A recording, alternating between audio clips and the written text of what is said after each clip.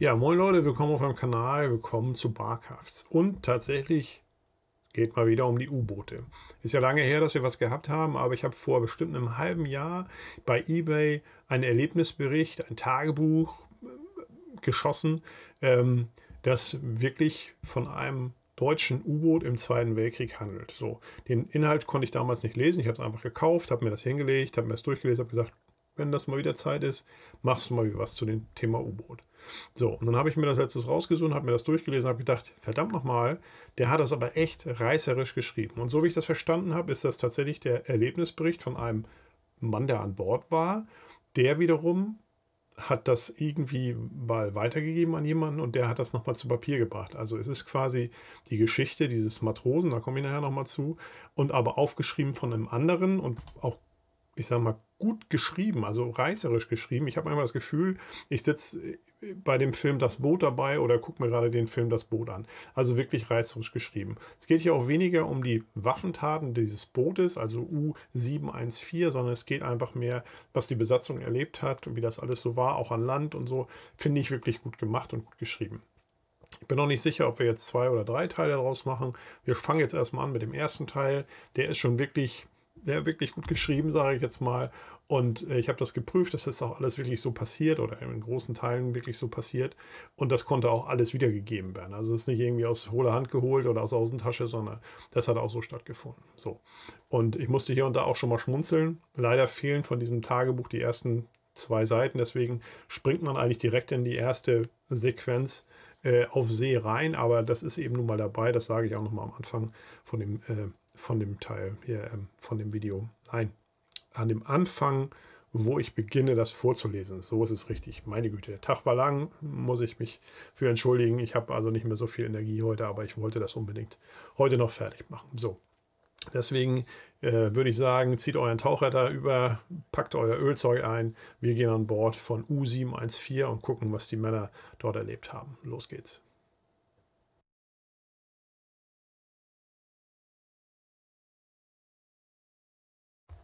Tagebuch eines U-Boot-Matrosen, Obermaschinenmat Karl-Heinz Marre und sein Boot U-714. Ja, kurze Anmerkung meinerseits. Scheinbar fehlen die ersten zwei Seiten. Deswegen steigen wir quasi voll in das Gefecht mit ein. Abgesetzt von den als Gruppe 3 bezeichneten Booten operiert U-714 unter Oberleutnant zur See Schwebke mit einem besonderen Auftrag – die Besatzung wird über Bordlautsprecher darüber informiert, dass das Boot nicht angreifen, sondern ein Täuschungsmanöver starten soll. Abzusetzende Funksprüche sollen den Konvoi zu einer Ausweichbewegung veranlassen und ihn in die Fänge der Gruppe 3 treiben. Die Hoffnung erfüllt sich nicht. Der Konvoi passiert unbemerkt die deutsche Aufstellung. U-714 läuft in eine neue Position, sehr oft getaucht, dann beträgt die Marschfahrt nur 1,5 Seemeilen. Kommandant Schwebke hat die Vorhänge vor seiner Koje zugezogen. Er brütet über dem Kriegstagebuch, dem KTB. Wie den meisten U-Boot-Kommandanten ist es auch ihm ein Anliegen, möglichst knappe Formulierungen zu finden. Weitschweifige Erläuterungen sind ihm ein Gräuel. Vergeblich versucht er, sich auf die Eintragung ins KDB zu konzentrieren. Doch seine Gedanken kreisen automatisch um den derzeitigen Stand der Schlacht im Atlantik, um den Krieg schlechthin. Da war es doch den Alliierten im März gelungen, die Luftüberwachungslücke, das sogenannte Gap, südlich Grönlands zu schließen. Das gleiche gilt für die Lücke bei den Azoren, die vor wenigen Tagen dicht gemacht wurde. Langstreckenflugzeuge des Coastal Commands haben dies möglich gemacht zum Verdruss der Frontboote. Der Juli 43 war der letzte Kriegsmonat, in dem die U-Boote noch mehr als 200.000 Bruttoregistertonnen an Schiffsraum versenkten. In der Kommandantenbesprechung waren die Verlustziffern für diesen Monat angegeben worden. Schreckliche Zahlen. Handelt es sich doch um insgesamt 37 Unterseeboote, die der Gegner vernichtet hatte, davon 13 in der Biskaya, 11 im Südatlantik und in der Karibischen See, vier im Mittelmeer, eins im Nordmeer und acht im Nordatlantik. Das war ein Anteil von über 30 Prozent der in See stehenden Boote. Wie viele Freunde, wie viele Kameraden hat es da erwischt? Und heute? Heute sieht es nicht viel besser aus. Nach den spärlichen, zeitweise verstümmelt eingegangenen FTs ist wieder eine große Zahl von Booten verloren gegangen. Und wie viele waren nicht mehr in der Lage, einen Funkspruch abzusetzen? Seit Mai 1943 sind bei den Alliierten vermehrt Geleitflugzeugträger im Einsatz. Damit ist der Schutz der Geleitzüge aus der Luft fast vollkommen. Wie sollen da die U-Boote ihre Angriffsposition erreichen? Etwa mit der minimalen Unterwassergeschwindigkeit? Die gesamte Wehrmacht wird 1943 von schweren Schlägen heimgesucht. Im Januar die Kapitulation in Stalingrad, das Ende der 6. Armee, der Vorstoß der Russen. Im Mai die nächste Pleite, das deutsche Afrikakorps kapituliert in Tunis. Hunderttausende sind gefallen oder in Gefangenschaft. Wie soll die Wehrmacht diese Aderlässe verkraften? Sind diese Desaster nur Pech, resultierend aus dem sattsam bekannten Rohstoff- und Treibstoffmangel? Oder hat der deutsche Soldat versagt? Oder sollte vielleicht die deutsche Führung nicht mehr fähig sein, die Lage zu überschauen und entsprechende Maßnahmen zu treffen? Schwebke weiß, dass es müßig ist, sich als kleiner U-Boot-Kommandant darüber den Kopf zu zerbrechen. Ohne Einblick und Einfluss kann man die Dinge nur auf sich zukommen lassen. Seine Gedanken eilen weiter. Zornesröte steigt ihm in die Stirn. Die Alliierten hatten kaum den letzten Lanzer des Afrikakorps im Sack, da passierte das Malheur mit den zwei italienischen Inseln. Die Insel Pantelleria, zwischen Afrika und Europa gelegen, ragt 850 Meter aus dem Wasser. In den in den Berg getriebenen Stollen, Kavernen und Bunkern stand eine Garnison von 11.000 Italienern und 87 Deutschen. Festungskommandant war Admiral Gino Parvesi. Das Eiland galt als uneinnehmbar. Eisenhower wollte einen Luftstützpunkt möglichst nah an Sizilien haben. Also befahl er die Bombardierung Pantellerias. Da nahmen die Landungsboote der ersten britischen Division Kurs auf die Insel. Noch weit vor der Küste signalisierte der britische Zerstörer Laferoy, er sehe eine weiße Fahne am Signalmast flattern. So gingen die Briten kampflos an Land. Admiral Pavesi unterschrieb die Kapitulation. Als Begründung wurde Wassermangel angegeben. Die Tommy staunten jedoch nicht schlecht, als sie alle Zisternen bis an den Rand gefüllt vorfanden. Die italienische Garnison hatte durch das Bombardement lediglich 100 Mann verloren. Der schier unübersehbare Haufen der anderen hatte den Schwanz eingerollt und zog in die Gefangenschaft, voran der Feigling in Admiralsuniform. Suffisant meldeten die Briten, dass sie bei der Operation einen Verwundeten zu beklagen hatten. Er war von einem Schakal gebissen worden. Ein gütiges Schicksal sollte man diesem Dreckskerl von Admiral für eine einzige Feitfahrt zuteilen, murmelte Schwibke. Dabei sollte er nur das über sich ergehen lassen, was auch jeder Mann auf dem Boot aushalten muss. Er denkt an Wasserbomben und Astikortung, Fliegerbomben und Wassereinbrüche, Zerstörerangriffe und Rampfversuche, Schlaf- und Luftmangel, brennende Augen und Filzläuse, Reparaturen in qualvoller Enge und das Knarren der Spanten in 200 Meter Tiefe. Alkohol- und Rauchverbot, Gestank und dauernd feuchte Klamotten, dazu die ewig besetzte Latrine. Nicht wenigen Matrosen, die mit zusammengepressten Backen vor dem Rotlicht standen, soll das auf die Membran drückende, später zu legende Ei in die Hose gerutscht sein. Diese Fahrt würde den Knilch entweder zum Mann und Offizier machen, oder er müsste sich die Pistole an die Schläfe halten. Höchstwahrscheinlich wäre er aber auch dazu zu feige. Diese Gedanken Schwebkes erfassen das nächste Dilemma. 24 Stunden nach der Kapitulation von Pantelleria, also am 12. Juni 1943, ergab sich die Insel Lampedusa einem amerikanischen Sergeanten der auf dem dortigen Flugplatz mit defekter Maschine notgelandet war. Da hat sich Deutschland vielleicht einen Verbündeten ausgesucht, knurrte Schwebke. Man sollte. Hm. Seine Gedanken werden je unterbrochen durch den Ruf: Kommandant zum Horchraum! Der U-Boot-Alltag hat wieder begonnen.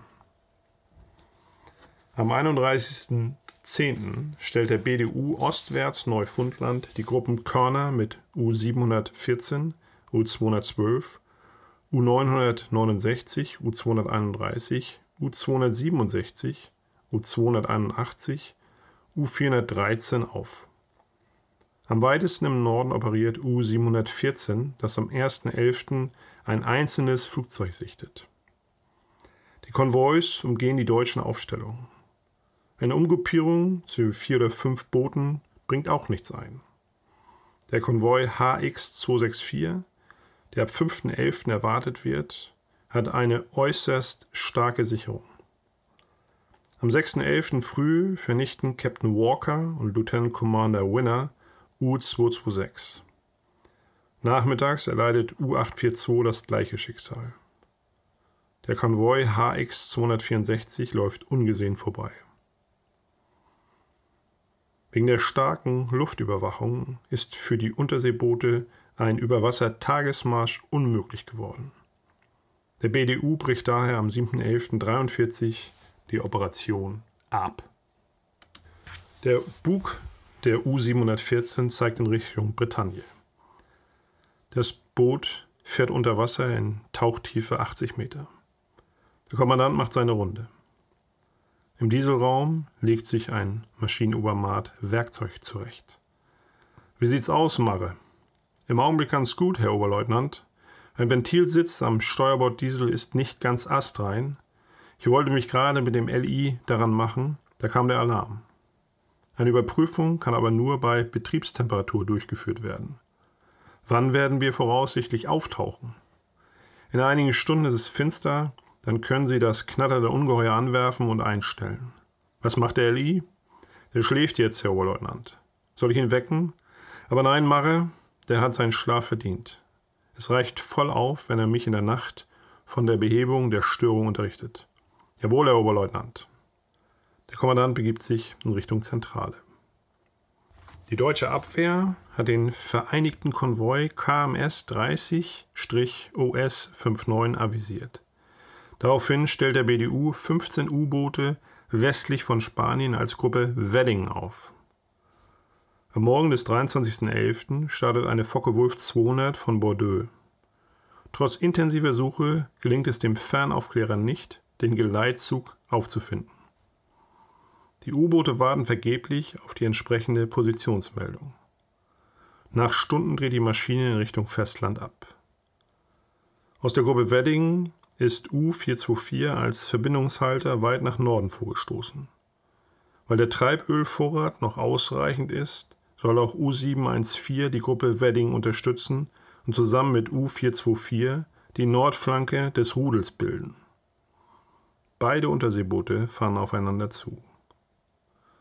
Zur gleichen Zeit läuft die 4th Support Group unter Commander Paramore an der Gruppe Wedding vorbei. Es handelt sich um Fregatten, die seitens der USA den Briten zur Verfügung gestellt wurden. Die mit Höchstfahrt laufenden Bayard, Bisselli, Drury, Bentnick und Berry orten U-648. Das Boot hat keine Chance und sinkt. Wenig später werden U-424 und das anmarschierende U-714 von den Ortungsgeräten der Fregatten erfasst. Die britische Gruppe teilt sich, je drei Fregatten verfolgen ein U-Boot. Auf beiden deutschen Kampfbooten hat man die Fregatten natürlich auch längst geortet. Alarm! Über den Türmen schlagen die Wellen des Atlantiks zusammen. Rasch ist die Tauchtiefe 160 Meter erreicht. In den Booten ist es still. Schleichfahrt, haben die Kommandanten befohlen. Die eigenen Geräusche müssen auf ein Minimum herabgesetzt werden. Dadurch wird die Ortung für den Gegner erschwert. Den Fregatten stehen die Bedienungsmannschaften an den Wasserbombenwerfern bereit. Die Commander verfolgen auf den Schiffsbrücken den immer spitzer werdenden Winkel des vorausstrahlenden Astik. Dann ist es soweit. Attention, fire! Die ersten Varbos sind unterwegs. In beiden U-Booten sind die Astik-Impulse der Verfolger deutlich zu hören. Je schneller die Intervalle der Pings, desto näher die Fregatte. Malende Schraubengeräusche, dann rumst es. Die erste Druckwelle, nicht besonders stark, erreicht U714. In der Ferne sind weitere Detonationen zu hören. 2A plus 30, ruft Oberleutnant Schwebke. Der LI pendelt das Boot bei 190 Meter ein. Noch ist alles normal, noch schauen sich die Leute aufmerksam und ruhig an. Wird schon werden, murmelt einer. Diejenigen, die ihn gehört haben, nicken. Ein furchtbarer Knall. Das Unterseeboot macht einen Satz, da explodiert die zweite Wasserbombe. Die Druckwelle schleudert das Boot aus seinem Kurs, es kränkt über. Ein anschwellendes Dröhnen strapaziert die Trommelfelle der Besatzung. Dazwischen ist ein schrilles Pfeifen zu hören. Unter Flüchen und Stöhnen erheben sich die Männer, denen die abrupten Bewegungen des Bootes den Boden unter den Füßen weggerissen haben. Ein Torpedomat ist mit der Stirn gegen ein Stellrad geschlagen. Aus der Platzwunde rieselt ihm Blut in die Augen. Vergeblich versucht er sich mit einem dreckigen Lappen die Augen auszuwischen. Da hat doch irgendein krummer Hund behauptet, es wäre süß, fürs Vaterland zu sterben, murmelt er. Der ist bestimmt nie auf einem U-Boot gefahren. Dann wird seine Stimme lauter. Führt mich zum Sunny, ich kann nichts mehr sehen. Eine helfende Hand packt ihn am Arm und schiebt ihn vorwärts. Die nächste Bombe lässt das Boot erzittern. Der Kommandant beobachtet das Tiefenmanometer. Die Anzeige schwankt um 190 Meter. Runter auf 210, Ruder 180 Grad. In der Ferne sind drei Detonationen kurz hintereinander, dann noch eine vierte zu hören. Jetzt behagen Sie auch U424, ruft halblaut der leitende Ingenieur. Wie viele Tommys machen wohl Jagd auf uns, Herr Oberleutnant? Die Frage gilt dem Kommandanten. Mindestens fünf, meine Schätzung. Der Rest des Satzes geht in einem furchtbaren Schlag unter. Die Beleuchtung fällt aus, Schreie im Boot stöhnen, wimmern. Wasser rauscht, der Bootskörper wird vorlastig. Endlich flammt die Notbeleuchtung auf. Käsige Gesichter, halboffene Münder, beide Tiefenrudergänger starren auf das Manometer. 220 Meter laufen durch, brüllte eine. Der Kommandant steht mit einem Satz hinter ihm. Anblasen, Ali, schnell anblasen! Schwebke ist nervös. Der Druckkörper ächzt und knackt. Jemand heult los. Meine Mutter. Schnauze verflucht, Schnauze, sage ich. Die flehende Stimme erstirbt. Auf den Bodenplatten rollen verschiedene Gegenstände umher. Sie machen jede Bootsbewegung mit. Scherben knirschen, eine der E-Maschinen läuft unrund. Angeblasen, ruft der Leitende. Boot auf 150 Meter einpendeln. Die Stimme des Kommandanten ist wieder normal. Wassereinbruch im Bugtorpedoraum. Lenzpumpe läuft. Die Vorlastigkeit des Bootes hat ihre Erklärung gefunden. Zoeli, schauen Sie mal nach. Der Ingenieur steigt durch das Kugelschott. Er hat das linke Bein noch nicht nachgezogen, als ein furchtbarer Stoß ihn von den Füßen reißt. Wie ein Torpedo schießt er über die Bodenplatten, bis ein herausragendes Ventil seine Fahrt abrupt abbremst. Mit einer schweren Schulterprellung und mehreren Schürfwunden bleibt er liegen. Die Wasserbombe durfte keinen Meter näher am U-Boot detonieren. Die stählerne Röhre schüttelt sich wie ein weitwundes Tier, doch sie hält stand. Aber wie lange noch? Das infernalische Geräusch ist abgeebbt. Geblieben ist das Knistern und Knacken, das Stöhnen Verwundeter, das Rauschen eindringenden Wassers und ein unidentifizierbares Jaulen. Die Offiziere, manche mit schmerzverzerrten Gesichtern, überprüfen die Schäden. Meldung an den Kommandanten. Reparaturtrupps arbeiten hastig, Öl verschmiert, in qualvoller Enge. Boot steigt, schreit der LI und blickt auf das Tiefmanometer. Jetzt durchpendeln. Die befohlene Tiefe ist erreicht. 150 wie befohlen. Schweb genickt. Danke, LI. Neuer Kurs 220. Noch während das Boot beidreht, fällt die nächste Bombenserie. Sie liegt aber so weit weg, dass das Boot nur leichte Schlingerbewegungen macht. Ob die uns wohl verloren haben? Auf die Frage des Wachoffiziers schüttelt der Kommandant den Kopf. Glaube ich nicht. 1WO, schön wär's ja. Er sollte Recht behalten. Zwölf qualvolle Stunden werden beide U-Boote mit Wasserbomben belegt. Wehrlos müssen die Besatzungen das Inferno durchstehen. Dann drehen die Fregatten ab. Sie haben keine Bomben mehr, müssen betankt werden. In der Nacht tauchen beide U-Boote auf. Durchlüften, Schäden beheben, Ordnung schaffen, essen.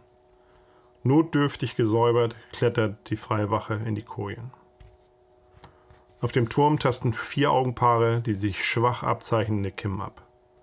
Der Kommandant lehnt am Seerohrbock. Kurs Heimat, befiehlt er. Kurs Heimat, wiederholt der Rudergänger im Inneren des Bootes.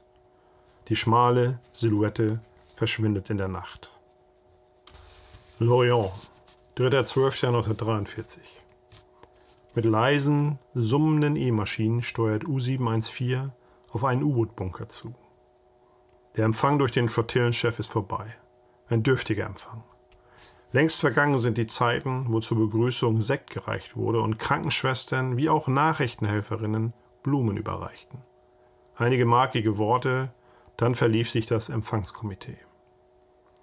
Das behelfsmäßig reparierte und abgedichtete Boot macht im U-Boot-Bunker fest. Ein Kran kommt auf Schienen angefahren, die Laufkatze wird über das Vorschiff dirigiert.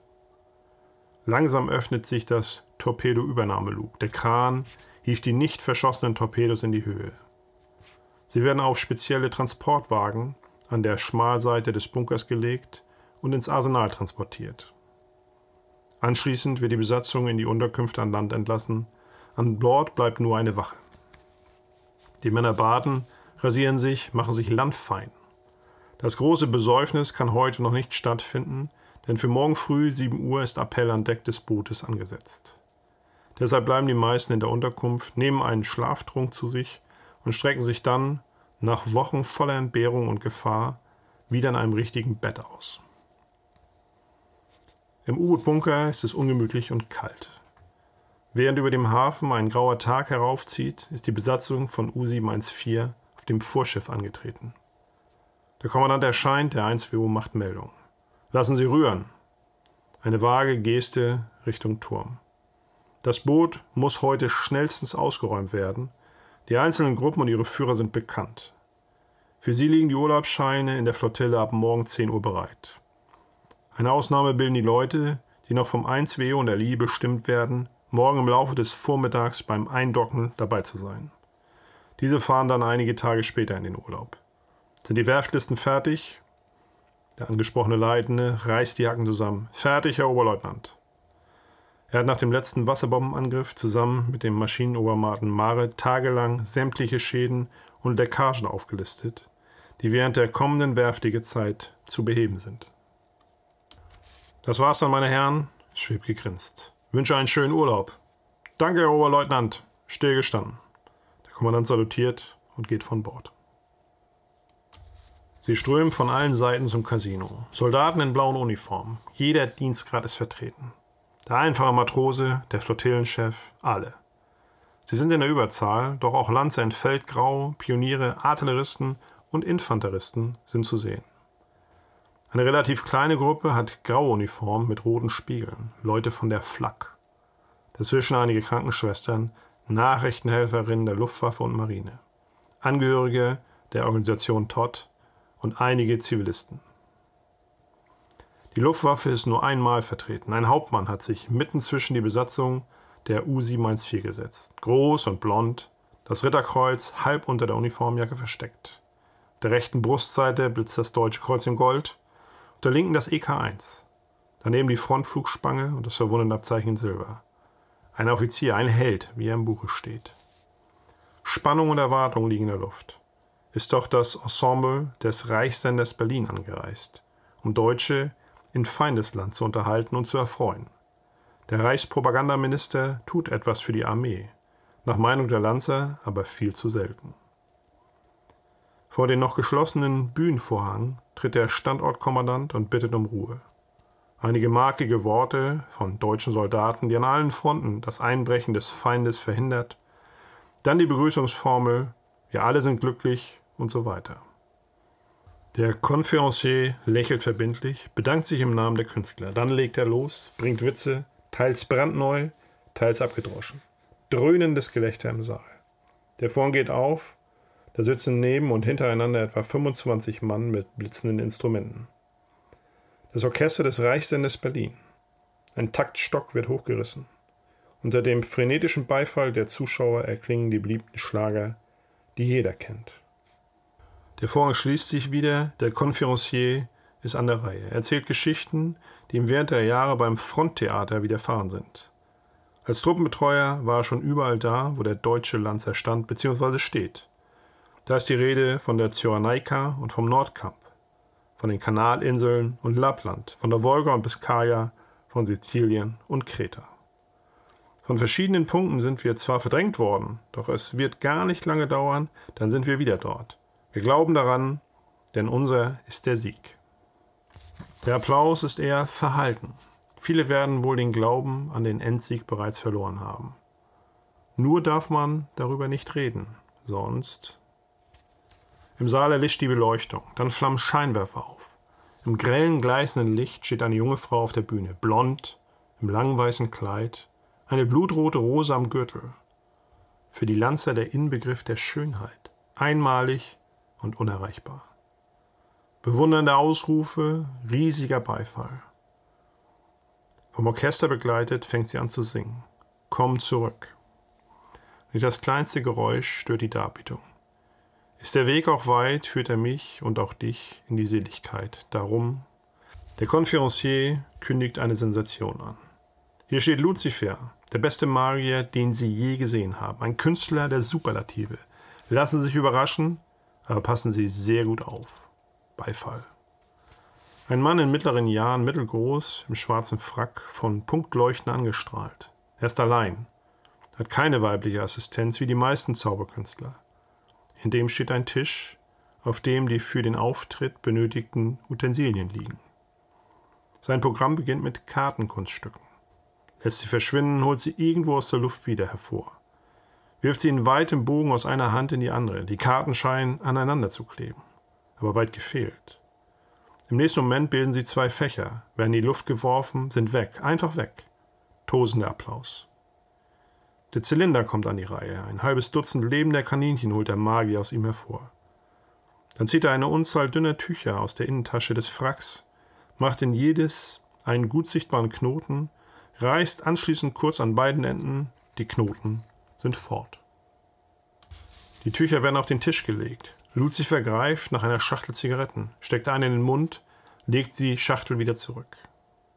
Dann wendet er sich zum Publikum, stößt die rechte blitzschnell in die Luft und hat ein brennendes Feuerzeug in der Hand.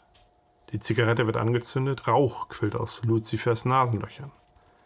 Eine schnelle Bewegung, er hat das Feuerzeug fortgeworfen. Noch ein Zug am Glimmstängel, dann wirft er auch diesen in die Luft. Die Zigarette hat sich anscheinend aufgelöst.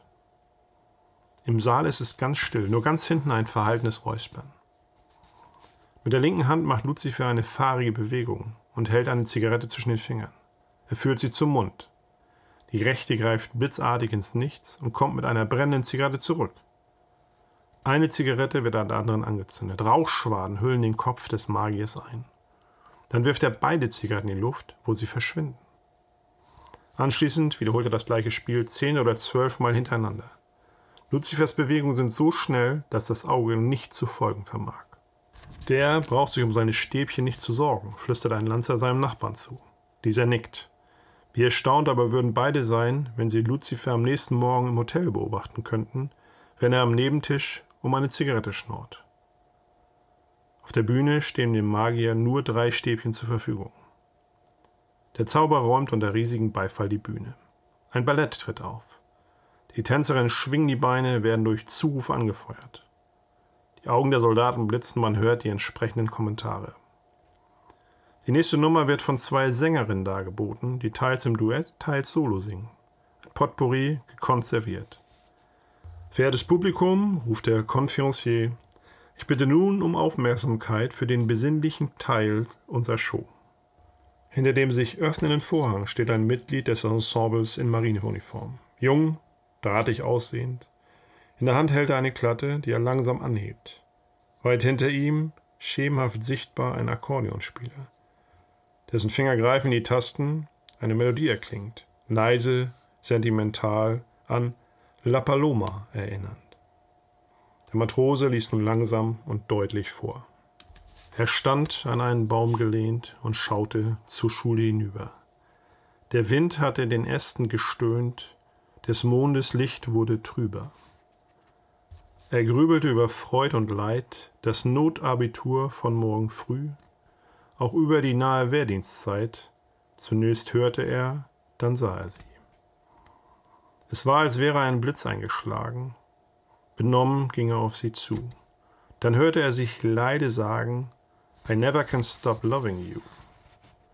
Belustigt zuckten die Augenbrauen, sie strich sich übers blonde Haar.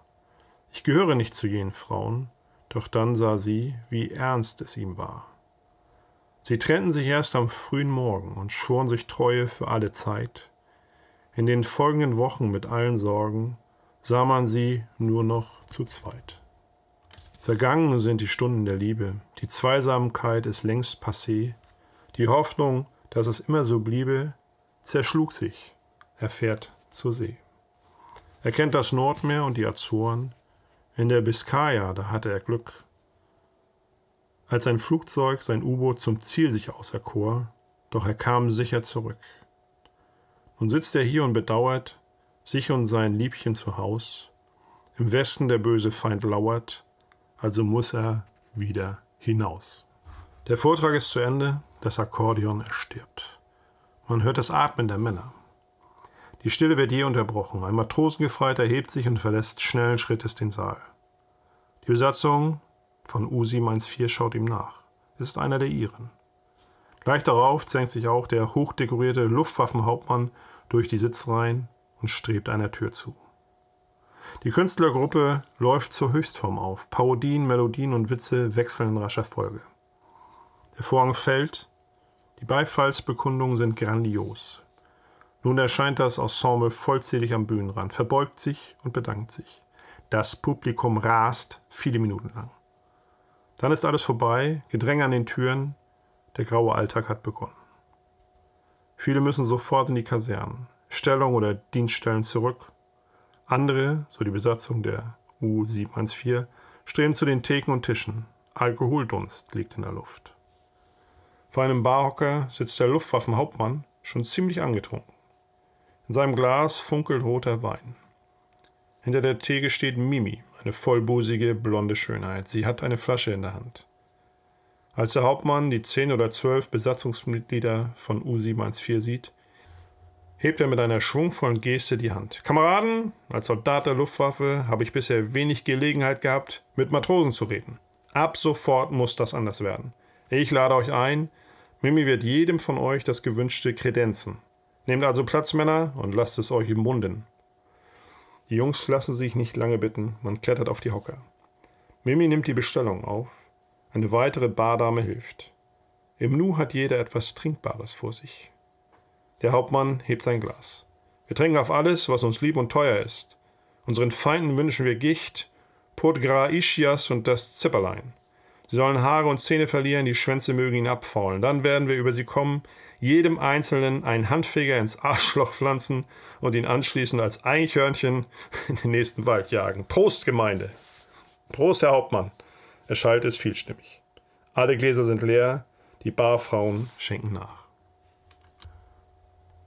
Nun sind Matrosen vor allem an Land nicht den Mitgliedern eines Kirchenvereines gleichzusetzen, aber einen solchen Trinkspruch hat noch keiner gehört. Stell dir das mal bildlich vor, ein Maat beugt sich grinsend zu seinem Nachbar, auf jedem Baum mindestens ein Eichhörnchen. Das wäre, der Rest des Satzes geht in einem Geschrei unter. Einmal prostet man sich lautstark zu, zum anderen hat ein Marina, eine Barfrau, ins wippende Hinterteil gekniffen. Denn emotional in schrillen, diskant dem Flegel an den Kopf geworfenen Beschimpfungen können sich hören lassen.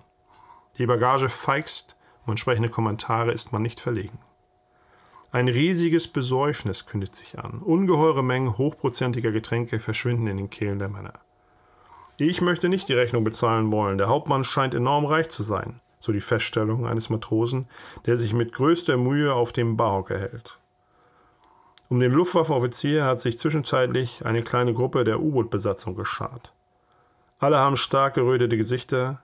Mit den Alkoholfahnen könnte man ein mittleres Gaswerk betreiben. Trinkt, Jungs, so schnell und so viel ihr könnt, nur das heute zählt. Der Hauptmann untermalt seine Worte gestenreich. Es könnte nämlich plötzlich alles vorbei sein. Er sieht die Leute nacheinander an. Ihr braucht nur mich anzuschauen. Dann habt ihr einen, der alles oder fast alles verloren hat. Ein riesiger Schluck, dann fährt er fort. Ich greife mit den Resten meiner Staffel einen russischen Bahnhof an, auf dem über 40 Tankwaggons stehen, randvoll mit Treibstoff gefüllt. Nach dem ersten Anflug brennen nur drei. Also müssen wir nochmal ran. Die russische Flak schießt wie irre. Beim Hochziehen sticht mich etwas ins Auge. Wahnsinnige Schmerzen, ich kann nichts sehen. Ich fliege blind, von den Kameraden über Sprechfunk gelotst, bis über unseren Flugplatz. Dann mache ich eine Rolle, werfe das Kabinendach ab und steige aus. Meine Me 109 zerschellt zwei Kilometer weiter. Man prostet sich zu. Sani, Verbandsplatz Krankenhaus in Kiew, Diagnose, Splitter im Auge, stark verminderte Sehkraft. Was mich am stärksten trifft, die Fliegerei ist passé. Ich grüble und schiebe die Benachrichtigung meiner Frau von Tag zu Tag hinaus, bin nach einer Woche transportfähig. Man trinkt. Ich soll nach Wien zur Operation. Nehme Verbindung mit meinem Geschwader auf. Werkstattflug nach Danzig mit einer U-52. Flughafenkommandant stellt mir Pkw nebst Fahrer zur Verfügung. Für zehn Stunden. Dann fliegt eine He 111 nach Schwächert. Der Hauptmann leert sein Glas, seine Zuhörer auch. Mit einem Affenzahn rast der Fahrer durch sämtliche Kaffs, dann sind wir auf meinem Gutshof. Ich rufe nach meiner Frau, doch nicht sie, sondern der Verwalter erscheint. Betröppelte Miene, ahne nichts Gutes. Frage, quetsche den Verwalter aus. Ergebnis, meine Frau besucht zurzeit einen Gendarmeriehauptmann in Berlin, der bei uns mehrere Wochen einquartiert war und dann zum Stabe Himmlers versetzt wurde. Ich setze dem Verwalter zu, bis ich alles weiß. Eindeutige Situation, fortgesetzter Ehebruch. Mein Vaterhaus betrete ich nicht. Wozu auch? Ich fahre zu meinem Anwalt, der hat schon meine Eltern betreut. Beauftrage ihn, die Scheidung zu veranlassen. Dann soll er den Gutshof verkaufen. Ich, der einzige Erbe, ich habe die Nase voll. Der Anwalt redet mir den Verkauf aus. Das Geld ist angeblich nicht mehr viel wert. Mir ist alles egal. Vielleicht wird die Situation durch die näher rückende Front geklärt. Das nächste Glas, man postet sich zu. Die He 111 in letzter Sekunde erreicht, in Wien operiert. Professor konnte 20 Prozent der Sehkraft erhalten. Dann Schnellkurs auf der Flakschule. Nach Abschluss Marschbefehl nach Lorient, zwecks Übernahme einer schweren Flakbatterie. Hier bin ich nun. Morgen früh löse ich den bisherigen Batteriechef ab. Muss dann endgültig Spiegel und Paspillierung wechseln lassen, von gelb auf rot. Ein Flaksoldat mit gelben Spiegeln gibt es angeblich nicht. Nach dem ganzen Dilemma werde ich auch noch das verkraften. Das war's, meine Herren. Und wie ist hier die Lage im Allgemeinen und im Besonderen? Nach den Ausführungen des Hauptmanns kommt das Gespräch zunächst nur schleppend in Gang. Vieles, was er sagte, könnte auch den hier Anwesenden widerfahren. Wer weiß denn schon, was daheim geschieht? Diese Reaktion hat der Hauptmann nicht erwartet.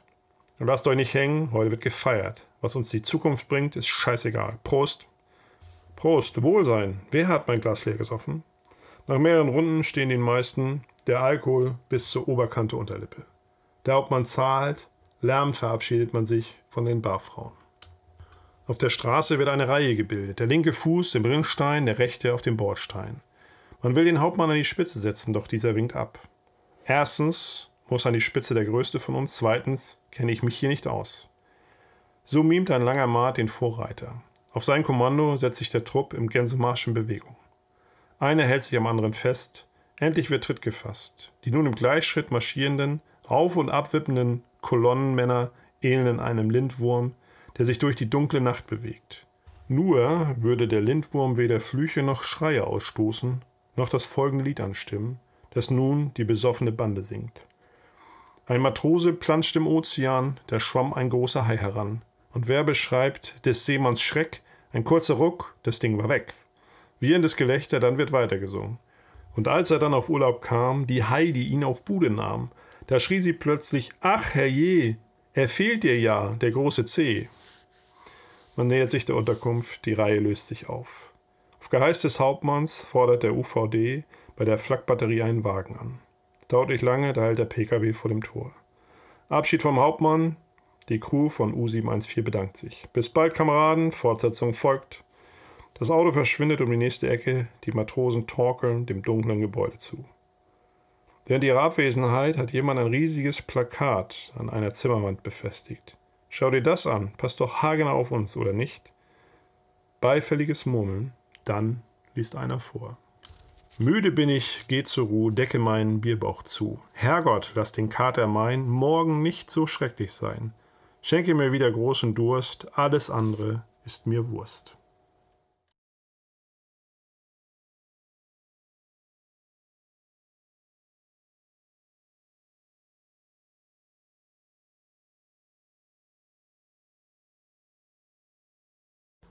Bremen Hauptbahnhof. Der Zeiger der großen Bahnhofsuhr springt auf 22.30 Uhr. Draußen im Dunkel pfeift eine Lok. Der SF 117 fährt zischend in die Halle ein. Er hat Verspätung, wie so oft in diesen Kriegstagen. Einige Fenster sind notdürftig mit Pappe und Sperrholz vernagelt. Der Pilot eines britischen Jabos wollte sich den Hosenbandorden verdienen. Auf seiner Erfolgsliste zwei Tote, 17 Verwundete, ein beschädigter Sonderfronturlauber. Neue Scheiben können erst im Zielbahnhof eingesetzt werden. Und der ist weit. Der Zug hat Kiel um 18.25 Uhr verlassen. Am übernächsten Tag soll er um 9.10 Uhr Brest in der Bretagne erreichen. Zwischendurch muss er planmäßig 18 Mal Station machen in Hamburg, Bremen, Oldenburg, Leer, Niewachhaus, Gröning, Zwolle, Amersfoort, Utrecht, Rosendahl, Antwerpen, Gent, Lille, Amiens, Le Mans, Angers, Nantes und Lorient. Dort soll er um 5.12 Uhr einlaufen. Nach Lorient muss noch ein Matrose, der auf dem Bahnsteig steht. Der Maschinenobermaat Karl-Heinz Marre, dessen Urlaub zu Ende geht. Weihnachten ist vorbei, vorbei die Tage im Kreise der Familie. Mit ihm auf dem Bahnsteig seine Frau Marianne, die das 18 Monate alte Töchterchen Monika auf dem Arm hält. Das Kind schläft, in eine Decke gewickelt. Es ist lausig kalt, obendrein bläst ein steifer Nordost durch die beschädigte Halle.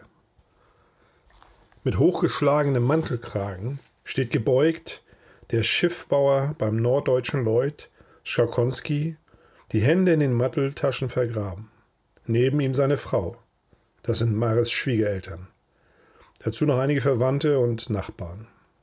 Man spricht nicht viel. Der Kloß in der Kehle lässt dies nicht zu. Gespräche führen auch aus der Sackgasse nicht heraus. Die Sackgasse heißt Krieg. Der Rest ist pures Wunschdenken, wie der Frieden etwa. Frieden, wie sieht der wohl aus? Einsteigen und Türen schließen. Marre küsst seine Frau und das Kind, streicht der Schwiegermutter übers Haar, verabschiedet sich von den anderen. Der SF ruckt an. Ein Schaffner hält die Tür auf, Marre springt auf den bereits fahrenden Zug. Tschüss, Karl-Heinz, ruft Frau Marianne mit Tränen in den Augen. Der Obermaat winkt nur heftig, sagen kann er nichts. Der Zug rumpelt über einige Weichen, dann hat ihn die Nacht verschluckt. Die Werftprobefahrt am 30.12.43 verläuft ohne Beanstandung. Der Ort Marre hat die Motoren getestet. Seine Kameraden haben alle Waffen und Geräte geprüft. So kann der leitende Ingenieur dem Kommandanten am 31.12. U-714 als werftfertig melden. Oberleutnant Schwebke bittet die Offiziere in die Zentrale. Er gibt den Auslauftermin bekannt. Es ist der 6. Januar 1944. Während noch weitere Einzelheiten besprochen werden, erscheint ein Melder.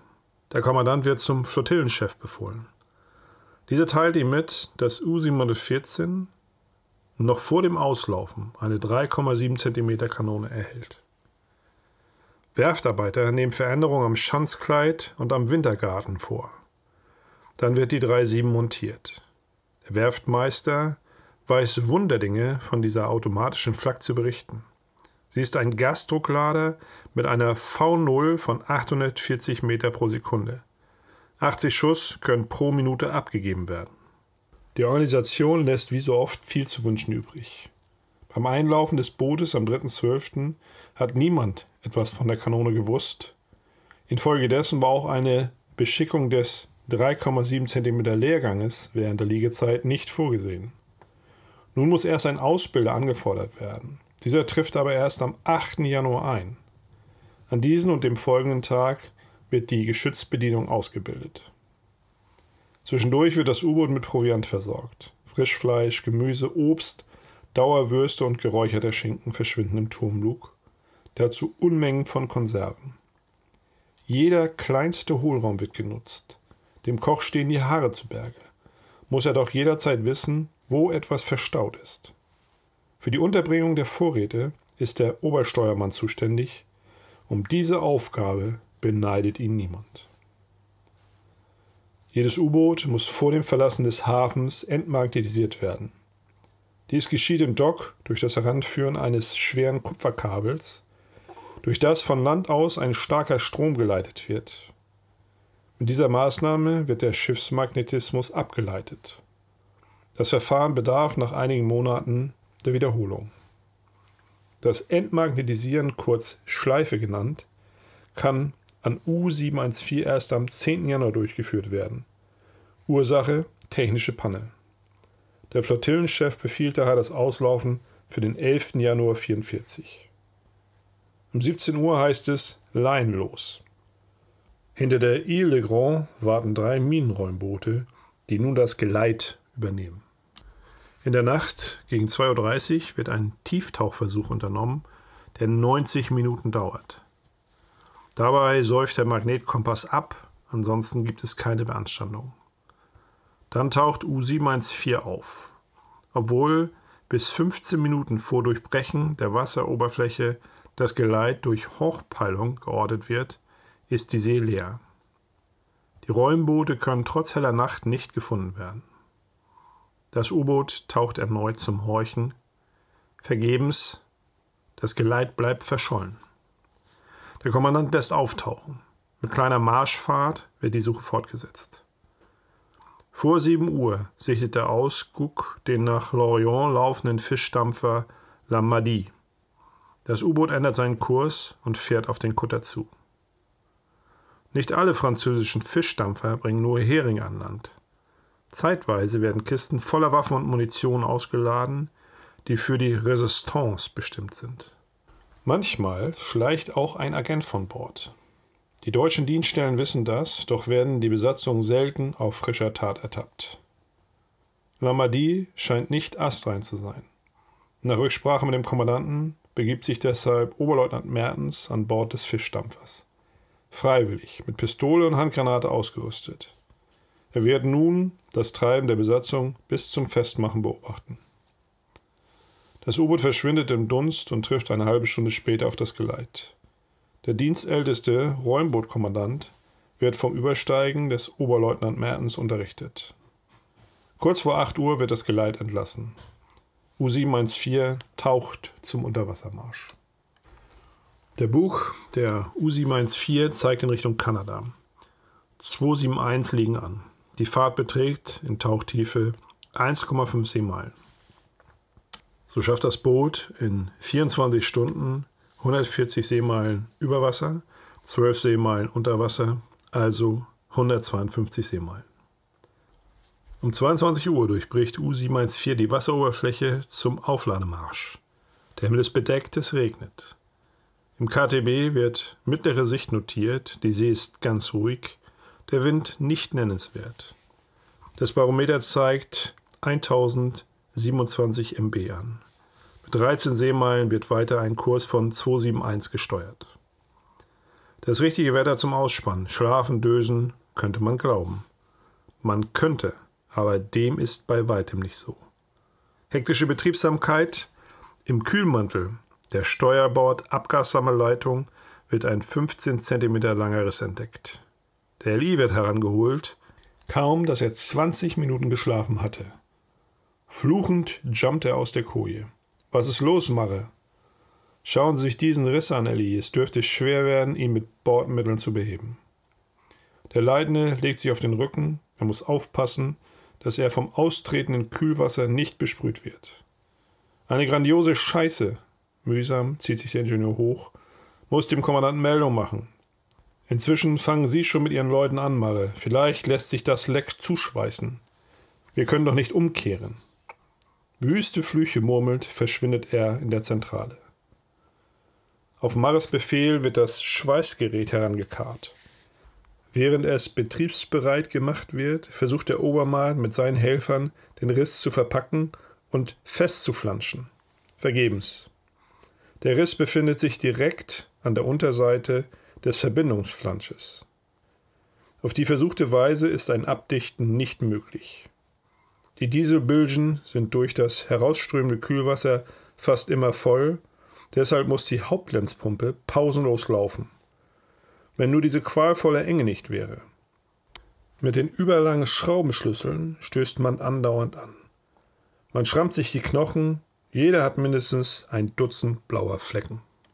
Die Körper gleichen verdrehten Fragezeichen, Keuchen, Stöhnen, lästerliche Flüche und Verwünschung. Der erste Schweißversuch läuft an. Aber nicht nur Marre und seine Leute arbeiten pausenlos. Das KTB spricht von einer ausgefallenen Naxos-Antenne und von einem defekten Motor der Wanze. Nun hat der BDU seit jeher Schwierigkeiten mit den Ortungs- und Navigationsgeräten. Der größte Schock jedoch wird ihm im Juli 43 versetzt. Ein Funkmess-Lehrtrupp der Marinegruppe West stellt in Zusammenarbeit mit dem Fliegerführer Atlantik auf dem Flughafen Bordeaux-Merignan fest, dass der auf den U-Booten installierte passive Peilempfänger METOX eine sehr starke Eigenstrahlung besitzt. Angeblich kann man die Boote bis 90 Seemeilen orten. Das sagt auch ein abgeschossener englischer Pilot in Dulac Oberursel, dem Vernehmungslager der Luftwaffe, aus. Strahlend wie Christbäume fahren die U-Boote auf der See. Es ist ein Kinderspiel, sie zu orten. Damit ist zum Beispiel das Massensterben der Tauchboote im letzten Drittel des Juli geklärt, als 22 Boote vernichtet werden. Verständlich sind nun auch die Ortung durch die Gegner bei Nacht und Nebel und das an den Nerven zerrende, spurlose Verschwinden. Das Rätsel scheint gelöst zu sein. Dönitz befiehlt das sofortige Abschalten des Metox auf allen Booten. Dann meldet er sich zu einem Gespräch unter vier Augen bei Hitler an. Nun ist aus englischen Dokumenten, die vor kurzer Zeit freigegeben wurden, herauszulesen, dass die vereinfachte Ortung aufgrund der Eigenstrahlung des Metox nie ausgenutzt wurde. Dies dürfte nicht ganz richtig sein. Natürlich ist die Eigenstrahlung nur minimal an dem Desaster schuld. So haben die Alliierten ab 1942 ihre Geleitschiffe mit der Sichtpeilanlage HFDAF, High Frequency Direction Finder, sowie mit der Seeversion des Rotterdam-Gerätes, ein 9 cm ASV-Gerät, auf das der Metox nicht anspricht, ausgerüstet. Wie schlimmer noch ist die Tatsache, dass den Engländern über lange Perioden die Entschlüsselung deutscher Funksprüche gelingt. Zurückzuführen ist diese Möglichkeit, die mit gravierend zum Untergang des Dritten Reiches beiträgt, auf einen Coup, den die Briten am 9.5.41 durchführen. An diesem Tage wird U-110 unter Kapitänleutnant Lamb durch Wasserbomben zum Auftauchen gezwungen. Die Selbstversenkung misslingt. Engländer entern das Boot und erbeuten die deutsche Schlüsselmaschine Enigma nebst allen geheimen Funk- und Verschlüsselungsunterlagen. Hiervon erfahren die Deutschen bis zum Kriegsende nichts. Nach der Pleite mit dem Metox darf kein deutsches U-Boot auslaufen, wenn es nicht den neu konstruierten Wellenanzeiger, inoffiziell Wanze genannt, mit der Antenne Bali eingebaut hat. Deshalb verschiebt sich die Wiederaufnahme des U-Boot-Krieges im Nordatlantik auf September 1943. Doch auch dieses Gerät hat Mängel. Es neigt zur Selbsterregung und täuscht eine Radarerfassung vor. Aus diesem Grunde wird bald auf das von der Firma Hagenuk in Kiel hergestellte FUMB 9 umgerüstet. Neben der Wanze sind die U-Boote mit einem Naxos-Gerät ausgerüstet. Es handelt sich um einen Warnempfänger gegen feindliche Flugzeuge und Radar. Der Kalender zeigt den 13. Januar 1944 an, als um 4 Uhr morgens die Wellen über U714 zusammenschlagen. Während die zuständigen Spezialisten die Schäden an der Noxos-Antenne und am Wanzenmotor in relativ kurzer Zeit mit Bordmitteln beheben können, arbeiten die Männer um Obermarten Marre nun schon pausenlos seit acht Stunden. Entkräftet, mit Öl und Dreck beschmiert, starten sie den dritten Schweißversuch. Vergebens. Der Riss scheint langsam größer zu werden. Zehn Minuten Pause. Die verschwitzten Gestalten sacken dort zusammen, wo sie sich gerade befinden. Sie haben die Bodenplatten noch nicht berührt, da schlafen sie schon. An der Abgassammelleitung lehnt Marre, völlig ausgepumpt, fertig. Mit entzündeten Augen schaut er auf die andere Seite des Durchganges, wo der LI steht. Der sieht auch nicht besser aus. Seine Arme hat er hinter irgendwelche Rohrleitung geschoben. Er hängt mehr, als er steht. Was glauben Sie, Marre, werden wir es schaffen? Ich sehe da schwarz, Elli. Alle Versuche sind bisher in die Hose gegangen. Ob da nicht irgendein krummbeiniger Hurensohn von Werftarbeiter seine beschissenen Wichsgriffel im Spiel hatte? Ist ja schon oft genug da gewesen. Könnte also auch hier Sabotage sein. Ich habe den Riss genauestens untersucht, Ali, weil ich die gleiche Vermutung hatte, aber ich habe keine Anzeichen für irgendeine Manipulation entdeckt. Die Sauerei ist schlimmer als Hurerei und Notzucht am Karfreitag, heulte Eli auf einmal los, fährt aber gleich darauf sachlich fort. Marre, sehen Sie sich jetzt Ihre Koje für eine Stunde von innen an, ich mache hier weiter. Sie lösen mich dann ab. Schon gebongt, Ali. Vor Erschöpfung taumelnd verschwindet der Obermaat im Halbdunkel. Alle Anstrengungen sind umsonst. Obwohl die Männer das Letzte hergeben, ist der Schaden mit Bordmitteln nicht zu beheben. Nach 24 Stunden härtester Arbeit gibt der Lee auf und macht Schwebke die entsprechende Meldung. Es besteht die Gefahr, dass der Kühlmantel rundherum reißt. Der Kommandant nickt, hat die Lippen zusammengepresst, überlegt. Wir müssen zurück. Rudergänger, neuer Kurs 092. Funker, FT vorbereiten mit kurzer Erläuterung bezüglich Rückmarsch. Einlaufhafen erfragen. 1WO, Boot fertig machen zum Auftauchen. 22.30 Uhr durchschneidet der Turm die Wasseroberfläche. Der Führer der Unterseeboote West funkt um 6.39 Uhr. Einlaufen, Schwebke ist Lorian. U-714 marschiert seit 4 Uhr unter Wasser. Nach dem Auftauchen um 22.35 Uhr wird per Funk der Geleitschutz angesprochen. Geleit Wintermeyer erscheint um 6.40 Uhr auf der Kim und nimmt 20 Minuten später das U-Boot unter seine Fittiche. Es ist 9 Uhr, als der Befehl die E-Maschinen stoppen lässt. U-714 hat wieder in Lorient festgemacht. Zwischen dem 16. und 19. Januar werden Kühlmantel und Abgassammelleitung ausgewechselt. Repariert werden auch der Magnetkompass, die Wanze und das Naxos-Gerät. Frischproviant wird übernommen, anschließend ein Schlusstrimmversuch durchgeführt. Dann ist das Boot seeklar. Bei schlechter Sicht läuft U714 zusammen mit U967 am 20. Januar aus. Lorient verschwimmt im Dunst. Das Geleit wird von drei Minenräumbooten gebildet. Die Uhr zeigt 4.06 Uhr an, als U714 nach einem Tieftauchversuch wieder an der Oberfläche erscheint. Ins KTB wird eingetragen WSW 2, Seegang 2, geringe Bewölkung, gute Sicht, 1032 MB. Die Brückenwache gibt sich die größte Mühe, das Geleit wiederzufinden. Beim ersten Auslaufen am 12. Januar ist es glückt, heute nicht. Bei Hellwerden verschwindet das Boot in die sichere Tiefe wo es bis 23.13 Uhr verbleibt. 17 Minuten später spricht das Naxos-Gerät an. Alarmtauchen. Nichts geschieht. So wird der Auflademarsch über Wasser ab 0.30 Uhr fortgesetzt. Kurs 272 liegt an. Tagsüber fährt das Boot in 80 Meter Tiefe. Als die Uhr 22.45 Uhr anzeigt, lässt Schwebke anblasen. Das Turmlok wird aufgestoßen, die Brückenwache klettert heraus. Der aus Südwesten kommende Wind heult mit Stärke 7 in den Aufbauten. Der Seegang wird mit 6 gemessen. Das Barometer zeigt nur noch 1016 MB an. Die Männer schnallen sich an, um nicht über Bord gespült zu werden. Nach wenigen Minuten haben sie keinen trockenen Faden mehr am Leib. Die Nachtgläser vor die entzündeten Augen gepresst, versuchen sie zwischen den einzelnen über den turmfegenden Brechern in ihren Sektoren etwas zu erkennen. Mitternacht ist vorüber, das Wetter ändert sich nicht. U714 schlägt in die Wellentäler, kränkt über, wird zum Spielball der Wogen. Die Brückenwache ist übel dran. Jedem brennt der Hals, der Kragen der Südwester scheuert die Haut auf. Das Salzwasser verdoppelt den Schmerz. Ein Schlag nach dem anderen trifft den Turm. Zischend leckt die See hoch, begräbt die Wache in reißenden Strudeln, läuft über den Wintergarten gurgelnd ab.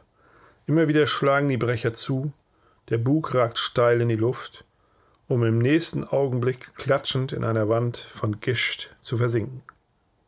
Dann wird für wenige Augenblicke das Heck sichtbar, bevor es gleich wieder in einer gewaltigen See verschwindet. Der 2WO bittet den Kommandanten auf die Brücke.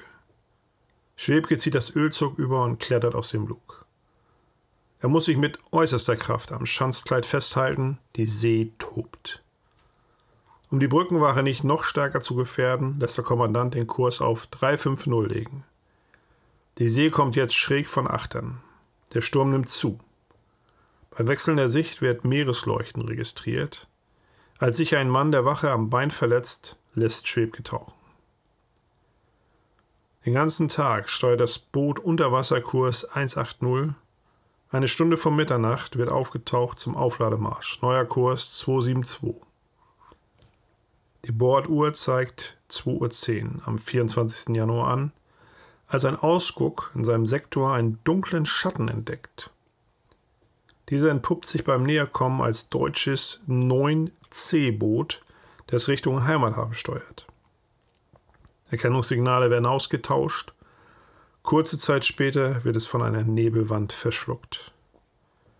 Eine halbe Stunde nach dieser Begegnung begibt sich Usi 4 auf Tauchtiefe. Dort bleibt es bis kurz vor 23 Uhr. Nach dem Auftauchen wird festgestellt, dass der Sturm nur unwesentlich nachgelassen hat. Die schwere forderliche See zwingt den Kommandanten 250 zu steuern. Kurz nach Mitternacht ortet die Wanze auf 150 cm. Das Boot schießt steil in die Tiefe, wo es bis 1 Uhr verbleibt. Anschließend fährt es noch zwei Stunden über Wasser. Dann schlagen wieder die Wellen über dem Turm zusammen. Am 26. Januar fällt der Steuerborddiesel kurz nach Mitternacht aus. Ein Stehbolzen vom Kipphebelblock des Einlassventils ist abgebrochen. Wieder ist der Maschineobermaat Marre für die Reparatur zuständig. Mit seinen Gasten arbeitet er fluchend über zwei Stunden, bis der neue Bolzen steht. Kurz darauf schneidet das Boot unter. Der 27. und 28. Januar vergehen ohne besondere Ereignisse. Das ändert sich am 29. Januar, als um 14.16 Uhr folgender Funkspruch eingeht. Invasionsmeldung aufgeklärt. Keine Landungsboote, sondern neutrale Fischdampfer. Gruppe hinein und Stürmer tauchen, weitere Befehle folgen. Auslaufende Biskaya-Boote, ferner Schwebke, Bremen, Seehausen, Ausmarsch fortsetzen. Der Kommandant berät mit dem ersten Wachoffizier. Da fehlt ein FT. Auf Empfangstiefe bleiben. Der Tiefenrudergänger pendelt das Boot bei 15 Meter ein. Gleich darauf hastet der Funkmat herbei. Ein weiteres FT, Herr Oberleutnant. Schäbke lässt den Spruch entschlüsseln. FT 0835 2961. Gruppe Stürmer, Schwebke, Bremen, Seehausen mit höchster Dauerfahrt ohne Rücksicht auf Luft, Marschquadrat BR50 ansteuern. Landungsverband gesichtet.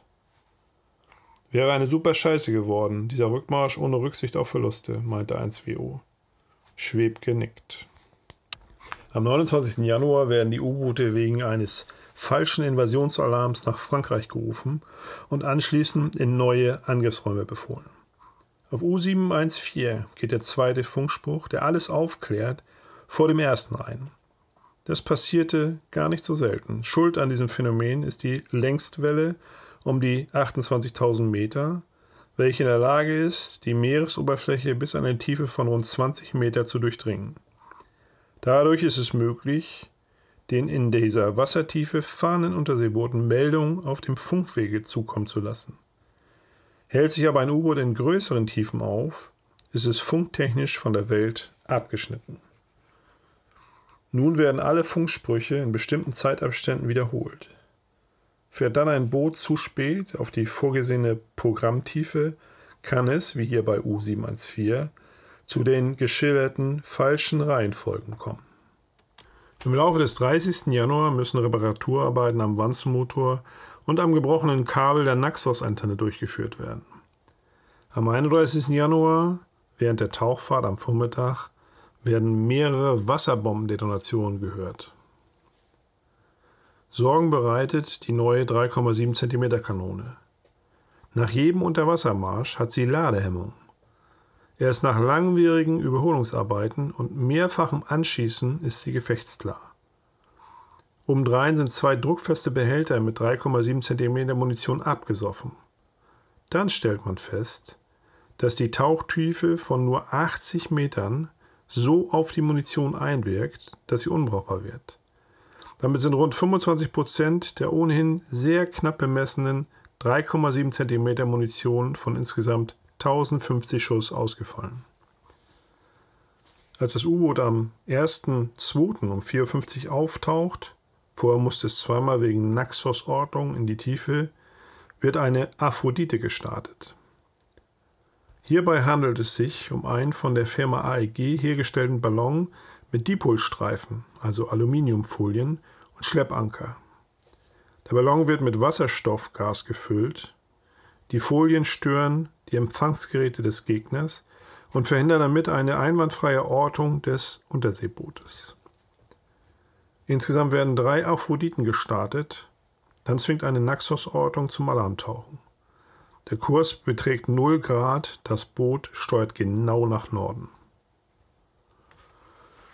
Es ist 2 Uhr nachts am 3. Februar 1944, als U-714 die befohlene Position erreicht. Zur Überwachung des Angriffsraumes werden wechselweise Nord- und Südkurs gesteuert. Bei guter Sicht und Windstärke 4 verstärken der Kommandant und der 2WO den Ausguck. Doch Kim und Himmel bleiben leer.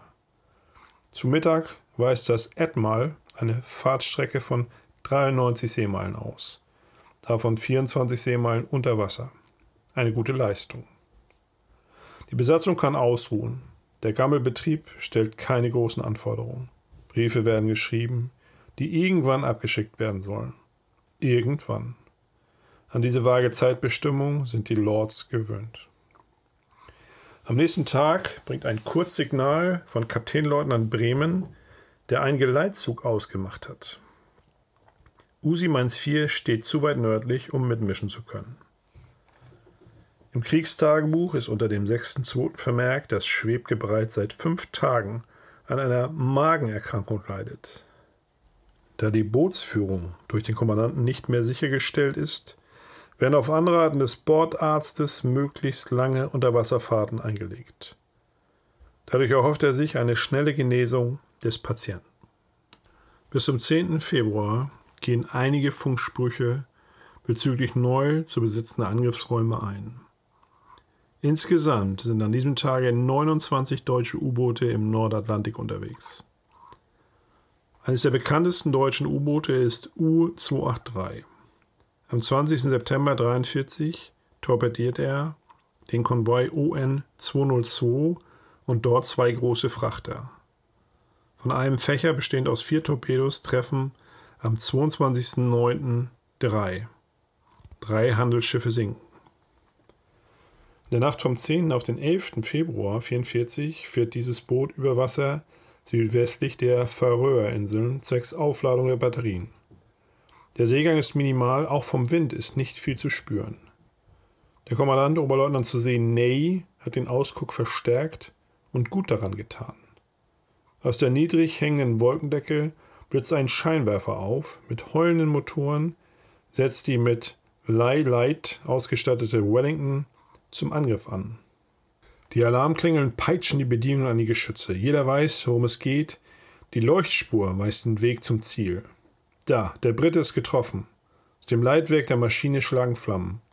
Sie verliert stark an Höhe, rauscht am Heck des Bootes vorbei und schlägt in Sichtweite aufs Wasser. Die Squadron 407 RCAF hat ein Flugzeug weniger. Die Geschützbedienungen reißen vor Freude die Arme hoch. Ein Abschuss wie im Bilderbuch. Ganz tief über dem Wasser greift eine weitere Wellington an. Deren Scheinwerfer hat das Boot erfasst. Die Geschütze auf dem Turm werden herumgerissen. Erste Feuerstöße rattern in die Nacht. Zu spät. Die Bombe ist bereits ausgeklingt. Sie trifft mittschiffs. Eine Detonation hebt U-283 aus seinem Element. Dem vorbeirasenden RAF-Piloten quellen die Augen aus dem Kopf. Ein fliegendes U-Boot hat er noch nie gesehen. Im nächsten Moment reißt eine furchtbare Explosion das Schiff auseinander. Dort, wo noch vor wenigen Sekunden ein deutsches U-Boot fuhr, bereitet sich eine dreckige, langsam größer werdende Öllache aus. Der Engländer Lee hat einen Scheinwerfer konstruiert, welcher in den Bombenschacht der Wellington passt. Die deutschen U-Boote werden in der Nacht mit Radar erfasst, anschließend angestrahlt und mit Bomben belegt, wie U-283. Doch nicht nur das letztgenannte Unterseeboot verdankt seinen Untergang dem Ley Light Scheinwerfer. In der gleichen Nacht marschiert U-545 mit zwölf Seemeilen der befohlenen Position entgegen. Ist ein Boot des Typs 9C40 mit einer Wasserverdrängung von 1144 Kubikmetern und einer Länge von 76,8 Meter. Seine zwei Dieselmotoren leisten 4400 PS. Die Batteriekapazität reicht für 1000 PS unter Wasser. Die Diesel brummen gleichmäßig. Der Ausguck sucht jede Wolke ab. Auf der Brücke sind zusätzlich einige Matrosen, die frische Luft schöpfen wollen. Der Zhovio ermahnt die Männer, aufzupassen. Die verfluchten Tommys schlafen nicht, er soll Recht behalten. Flugzeug an Steuerbord, brüllt der Ausguck und springt an die Kanone. Geschützbedienung raus, schreit der Kommandant. In diesem Moment bellt die erste Flak los. Der Wellington Bomber fliegt einen Halbkreis und greift von Achtern an. Er benutzt das brodelnde Kielwasser als Zielspur. Der Ley Light ist eingeschaltet, hat aber wegen der ungünstigen Schräglage das Boot noch nicht erfasst. Die Geschützbedienungen tun ihr Bestes. Sie haben das Ziel optisch aufgefasst und schicken dem Angreifer einen Hagel von Geschossen entgegen.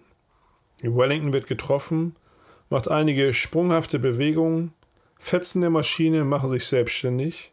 Es sieht aus, als ob der Brite in der Luft abmontieren wollte.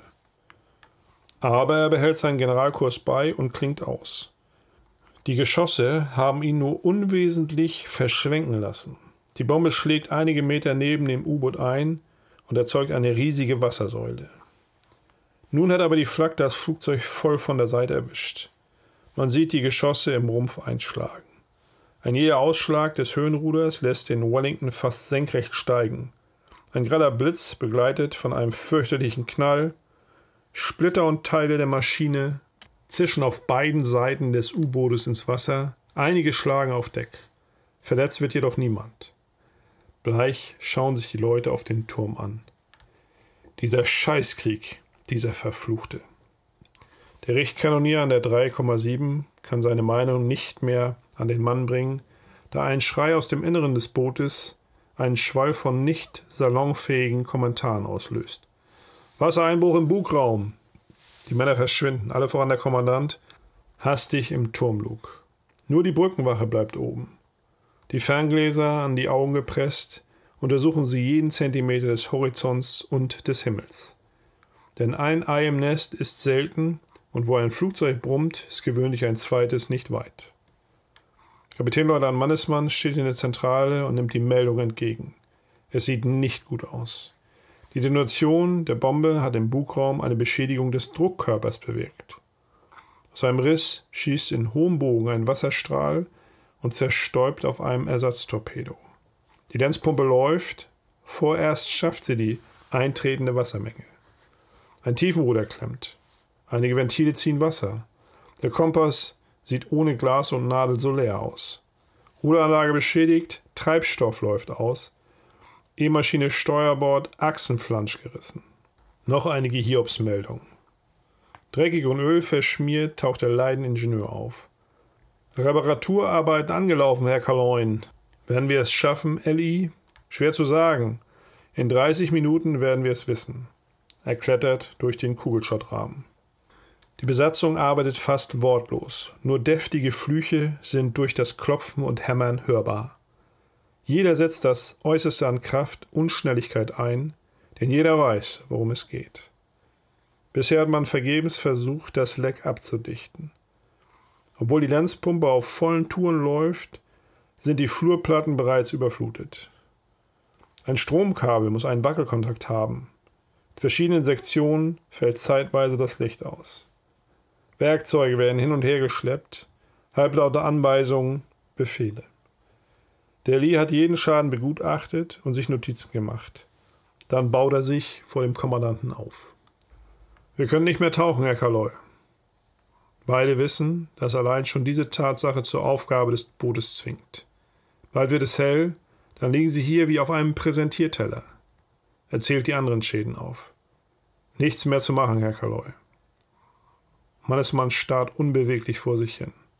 Er ist ein alter U-Boot-Hase, fuhr früher bei Hartenstein als 1WO, kann die Lage übersehen und einschätzen. Er weiß auch, wann der Knochenmann ausholt. Funker, Herr Kaloy. Sofort FT mit folgendem Text. Fliegerbomben. Boot lässt sich nicht mehr halten. Muss nach Aufnahme Besatzung versenken. Mannesmann. Dann schaltet er die Bordlautsprecher ein. Alles mal herhören habe gerade per FT um Übernahme der Besatzung gebeten. Unser Boot lässt sich nicht mehr lange halten. Strengt euch an, Männer, dass wir nicht vor dem Eintreffen eines Retters nasse Füße kriegen. U-714 marschiert über Wasser und lädt dabei die Batterien für die E-Maschinen. Der Kommandant hat sparsame Marschfahrt befohlen. Das Boot durchflügt mit 10 Seemeilen die Wellen. Bei mittlerer bis schlechter Sicht sucht der Ausguck routinemäßig die Sektoren ab. Es ist der 11. Februar 1944, die Borduhr zeigt 4.57 Uhr an. Der diensthabende Funker springt aus seiner Kabine. Schräg gegenüber befindet sich die spartanisch ausgestattete Koje des Kommandanten. Der grüne Vorhang ist zugezogen, der Oberleutnant schläft. Als der Funke den Vorhang zurückreißt, fährt Schwebke hoch. Herr Oberleutnant, Mannesmann sendet SOS. Dann liest er den Funkspruch vor. Schwebke springt aus der Koje und hastet in die Zentrale. Der Wachhabende, leicht dösend am Seerohr gelehnt, fährt hoch und meldet: Keine besonderen Vorkommnisse, Herr Oberleutnant. Bis jetzt, mein Lieber, bis jetzt. Lassen Sie den 1 und 2 WO sowie den diensthabenden Dieselheizer holen. Wo ist unsere Position? Auf einen Wink des Wachhabenden spurtet der Zentralmat los. Dann zeigt der Erstere auf einen Punkt in der ausgebreiteten Seekarte. Hier etwa, Herr Oberleutnant. Schwebke legt gerade das Lineal an, da erscheinen die Wachoffiziere. Meine Herren, Mannesmann sinkt. Wir müssen helfen. Koppeln Sie schnellstens seinen und unseren Kurs. Beide Offiziere fangen an zu rechnen. Obermatt zur Stelle. Schwebke fährt herum. U545 sinkt. Wir müssen mit AK hin. Haben Sie etwas gegen die Fahrtstufe einzuwenden? Nein, Herr Oberleutnant, die Diesel laufen bestens. Dann wollen wir mal. Während Marre zu seinen brummenden Schützlingen verschwindet, ruft der 1CO dem Kommandanten zu: Mannesmann in 120 Grad. Beide Maschinen äußerste Kraft voraus, Kurs 127. Maschinentelegraph und Ruder werden entsprechend bedient. Das Boot vibriert, die Diesel laufen unter Volllast. Bald ist die Höchstgeschwindigkeit von 17 Knoten erreicht. Es ist 5.35 Uhr, Schwebke klettert auf die Brücke und instruiert die Wache. Mannesmanns Hilferuf erreicht nicht nur die in See stehenden Unterseeboote, sondern auch die Befehlsstelle des FDU West. Elf Minuten läuft U714 mit AK, dann geht folgendes FT der Befehlsstelle ein. Ney und Cedar sofort zu Mannesmann gehen. Mannesmann Peilzeichen senden. Schwebke lässt ab 6.05 Uhr 325 steuern, die Marschfahrt auf 10 Seemeilen reduzieren und ins KTB eintragen. Auf diesen Entscheid der Führung gehe ich auf alten Kurs und steuere weiter meine Position an. Zumal nach meiner Rechnung Ney und Sieder mindestens ebenso günstig stehen wie ich. Von der Freiwache schläft auf U714 niemand mehr. Die Betriebsamkeit und der Lastwechsel der Diesel haben sie aus den Kojen getrieben. Man spricht verhalten über die Kameraden, die vielleicht gerade in dieser Stunde um ihr Leben kämpfen. Eine halbe Stunde später legt der Funker dem Kommandanten das FT 0618 11 766 vor. Erstens, Boote im Umkreis von 80 Seemeilen um AM 1545 sofort zu Mannesmann gehen. Zweitens, diese Boote sowie Ney Sieder diesen Befehl durch Standort Kurzsignal bestätigen. Drittens, Mannesmann sendet Peilzeichen gemäß Kriegsbefehl. Äußerste Kraft, Kurs 163 Grad, ruft Schwebke. Dann wird die eigene Position nach Frankreich gemeldet. Mit dröhnenden Dieselmotoren schwenkt das Boot auf den neuen Kurs. In beiden FTs spricht die deutsche Führung von Ney, dem Kommandanten von U-283. Zu dieser Zeit weiß noch niemand, dass Oberleutnant zu sehen Ney und seine Besatzung, wie vorher beschrieben, vor wenigen Stunden den Seemannstod gefunden haben. Um 8.40 Uhr werden schwache Peilzeichen von U545 in 129 Grad gehört. Schwebke ändert den Kurs entsprechend. Das Peilzeichen wiederholt sich eine halbe Stunde später. Neue Kursänderung auf 122. Der verstärkte Ausguck meldet einen großen Treibölfleck und starken Brennstoffgeruch. Um 9.40 Uhr kommt Backboot voraus, ein U-Boot in Sicht. Erkennungssignale werden ausgetauscht. Es ist U545. Nun beginnt eine Aktion, die an Dramatik ihresgleichen sucht. U545 liegt bewegungsunfähig. Die Übernahme der Besatzung wird sofort mit vier Mann Schlauchbooten eingeleitet. Der Wind nimmt zu. Regenschauer machen den Wachen auf beiden Brücken zu schaffen. Die Zeissgläser werden in die Türme hinuntergereicht, dort trockengerieben und dann im Ausguck wieder in die klammen Hände gedrückt. Das Spiel wiederholt sich laufend, der Himmel ist bedeckt, die Sicht wechselt. Schwebke hat bei Windstärke 4 die größte Mühe, U714 in eine für die Übernahme günstige Position zu bringen und zu halten. Die Diesel bewegen das Boot mal rückwärts und mal vorwärts. Der Rudergänger kommt der schnellen Befehlsfolge kaum nach. Ein Teil der Besatzung befindet sich an Oberdeck und zieht die Kameraden aus den auf und ab tanzenden Schlauchbooten heraus. Anschließend wanken die ausgepumpten Gestalten zum Turm, um durch das Schlug im Inneren des Bootes zu verschwinden. Mit den ersten Besatzungsmitgliedern werden auch die Geheimunterlagen von U-545 geborgen und verstaut. Fliegeralarm! Um 11 Uhr stößt in etwa 4000 Meter Entfernung ein zweimotoriges Flugboot, wahrscheinlich eine Consolidated, aus den Wolken. Doch beide Kommandanten haben etwas Ähnliches befürchtet und vorgesorgt. Alle Flakwaffen sind besetzt, Munition liegt bereit. Das Flugboot befindet sich innerhalb der Reichweite der Bordflak, da die 3,7 cm eine Schussweite von 6.500 Metern hat und die 2 cm eine von 4.800 Meter. Aus allen Rohren beider Boote wird der Brite aufs Korn genommen. Die Schiffbrüchigen und die mit deren Bergung befassten Matrosen können nur sorgenvoll zusehen. In einer Feuerpause schreit der Kommandant von U545 Genau draufhalten, Jungs, rotzt dem Schwein und die Kiste voll. Der will uns in letzter Minute zu den Fischen, weiter kommt er nicht. Mit ohrenbetäubendem Knallen rattern die Flawaffen wieder los. Verbissen versuchen die Bedienung, den Vogel herunterzuholen. Der Pilot lässt sich auf keinen Kampf ein. Er vergrößert den Abstand, umkreist die Boote und verschwindet schließlich im Dunst. Feuerpause. Neue Munition wird herangeschleppt. Die Geschützbedienungen trampeln und tanzen auf engstem Raum, um sich warm zu halten. Die Übernahme wird fortgesetzt. Wegen der starken Brise fallen die Besatzungen der Schlauchboote oft ins Wasser und müssen dann einzeln aufgefischt werden. Das Bergen ist langwierig und umständlich. Die im Wasser treibenden Männer sind durch die niedrige Wassertemperatur stark angegriffen und steif, können deshalb zur eigenen Rettung kaum beitragen.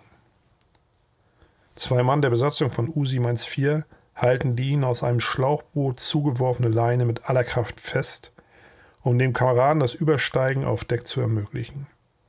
Die Dünung hebt das Schlauchboot hoch, um es im nächsten Moment in ein Wellental zu schleudern. Ein fürchterlicher Ruck strafft die Leine, Beide Matrosen versenken kopfüber in der aufgewühlten See und müssen nun von den Leuten im Schlauchboot herausgeholt werden. Der FDU funkt um 11.36 Uhr. Mannesmann, Sieder, Krankenhagen, Schwebke. Erstes eintreffendes Boot Besatzung wahrnehmen, danach U545 versenken. Durchführung sofort durch Kurzsignal melden. Danach Boot tauchen und in 250 absetzen. Weitere Befehle folgen. Bei gleichzeitigem Eintreffen zweier Boote Besatzung aufteilen. Das Etmal weist für U714 um 12 Uhr eine Fahrtstrecke von 187 Seemeilen aus. Diese respektable Leistung kommt durch das Fahren mit AK zustande. Zehn Minuten später setzt Schwebke ein FT an den FDU ab. Übernehme Besatzung Mannesmann, anschließend Rückmarsch. Die Schlauchboote fahren hin und her. Fliegeralarm! brüllt der Ausguck. Die Männer an den Geschützen reißen die Rohre in die angegebene Richtung. Von beiden Booten hämmern die Waffen. Auf etwa 5000 Meter kommt ein viermotoriges Flugboot in Sicht. Doch auch dieser Pilot wagt keinen Angriff. Er vergrößert die Entfernung und kreist. Geschützbedienung und Brückenwachen beider Boote verfolgen seinen Kurs. Die Maschine verschwindet zeitweise in den Wolken, um kurz darauf wieder aufzutauchen, aber immer in sicherer Entfernung. Auf U545 befinden sich nur noch der Kommandant, der 1WO und drei Mann. Der Wachoffizier setzt die Kriegsflagge, alle reißen die Hand an die Kopfbedeckung. Ein letzter Gruß an das Boot, das sie nie im Stich gelassen hatte.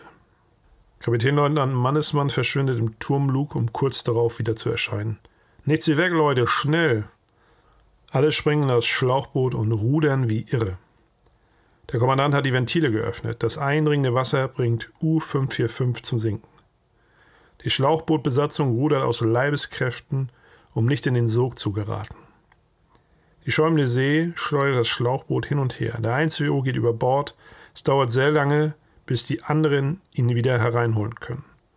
Er ist bewusstlos, scheint viel Wasser geschluckt zu haben. Im nächsten Moment gibt es zwei heftige Detonationen. Die Torpedos von U-545 sind in der Tiefe explodiert. Endlich sind die Schiffbrüchigen an Bord von U-714. Der Bordarzt leitet sofort Wiederbelebungsversuche beim 1WO ein.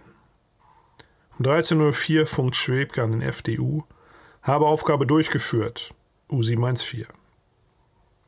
Eine Minute später taucht das Boot und hält den befohlenen Kurs von 250 Grad ein. Dreieinhalb Stunden hat der Bordarzt versucht, Leutnant zu See Körfer wieder ins Leben zu rufen. Dreieinhalb Stunden. In qualvoller Enge, dem in die Nase stechenden Mief und Sauerstoffmangel. Vergebens. Schweißnass gibt er auf und informiert die beiden Kommandanten. Tod durch Ertrinken, stellt er fest. Nach 20 Uhr geht folgendes FT ein. Schwebke und Sieder. Schwebke, Gut gemacht. Heute Nacht meldener Rückmarsch ohne Angabe von Leuten durchführbar. Falls ja, Rückmarsch fortsetzen. Falls nein, AL 1142 ansteuern. Dort am 14. abends zwei Stunden vor Dunkelheit Abgabe der Hälfte der Besatzung Mannesmann an Sieder. Sieder, genanntes Quadrat ansteuern. Antwort von Schwebke abwarten. Falls keine Übernahme nötig, ohne weiteren Befehl befohlenen Angriffsraum besetzen. Der Turm der U-714 durchbricht die Wasseroberfläche. Das Lug wird aufgestoßen. Hastig klettert die Wache heraus. Im Inneren des Bootes atmen die zusammengepferchten durch. Frische Luft, was für eine Wohltat. Auf den glatten Deckplatten bewegt sich eine Gruppe von vier Matrosen, mühsam Halt suchend. Das Boot schlingert stark in der dunklen See. Die Männer tragen einen länglichen Gegenstand zwischen sich. Es ist der tote Leutnant Körfer, in eine Zeltleinwand eingenäht und mit Stricken umwunden. An den Füßen ist ein schweres Stück Eisen befestigt. Eine makabere Szene. Wenn der Tote von Bord gegeben wird, stehen beide Kommandanten salutierend auf dem Turm. Ortung auf Wanz und Naxos, brüllt der 2W im Inneren des Bootes. Alarm! Die Brückenwache verschwindet blitzschnell im Lug, ebenso Kapitänleutnant Mannesmann. Schwebke wartet auf die vier Leute des Begräbniskommandos, die rutschend und taumelnd den Turm zu erreichen suchen. Endlich haben sie es geschafft. Schwebke klettert als letzter hinterher. Lug ist dicht, schnell tauchen. Das Boot schneidet mit starker Vorlastigkeit unter. Die Sauhunde lassen einen noch nicht einmal ein Gebet in dieser Situation sprechen, stößt Mannesmann verbittert hervor. Schwebke nickt wortlos. Dann lässt er in das Kriegstagebuch eintragen, ich entscheide mich zum Rückmarsch ohne weitere Abgabe. Das Risiko erscheint mir bei der unsicheren Wetterlage und der Luftbedrohung zu groß. Der nahezu zehnstündige Unterwassermarsch hat gezeigt, dass Schwierigkeiten grundsätzlicher Art nicht vorliegen. Ich habe jetzt 104 Mann an Bord. Am 12.02. wird um 1.30 Uhr Befehl zum Auftauchen gegeben. Zehn Minuten später geht ein FT raus. Trete Rückmarsch an, U714. In den nächsten sechs Stunden muss das Boot viermal wegen Ortung durch Wanze tauchen. Zwischen 7.15 Uhr und 8 Uhr können die Batterien geladen werden. Nachdem am 13.02. U714 kurz nach Mitternacht wegen Ortung auf Wanze unter Wasser muss, werden beim Auftauchen um 1.30 Uhr und um 2.30 Uhr jeweils eine Aphrodite gestartet. Wenig später wird Alarmtauchen befohlen. Bei leiser, rhythmisch knackender Naxos-Ortung überfliegt ein viermotoriger Bomber das Boot in Richtung auf Aphrodite. Der Ausguck kann noch ein hartes Andrehen des Flugzeuges beobachten, ein Scheinwerfer hat es nicht. Der 14.2. vergeht ohne besondere Vorkommnisse. Lediglich muss der Motor der Wanze repariert werden. Das Boot wird kurz durchgelüftet. Am Abend des 15.2. wird während des Auflademarsches um 21.45 Uhr ein Flugzeugscheinwerfer Steuerbord quer abgesichtet. Nur etwa 150 Meter hinter dem Boot stößt die Maschine aus einer Wolke. Die Flughöhe beträgt 30 Meter. Alarmtauchen. Kaum aufgetaucht, muss U-714 schon wieder in die Tiefe, da ein Scheinwerfer ausgemacht wird. Ob er von einem Flugzeug oder Schiff stammt, kann nicht festgestellt werden. Während der Tauchfahrt am 18.02. wird dem Kommandanten um 6.40 Uhr eine leise Horchpeilung gemeldet. Schwebke lässt sofort auftauchen, mit AK läuft das Boot in Richtung 210. 18 Minuten später kommen an Backbord drei Dampfer und drei Zerstörer in Sicht.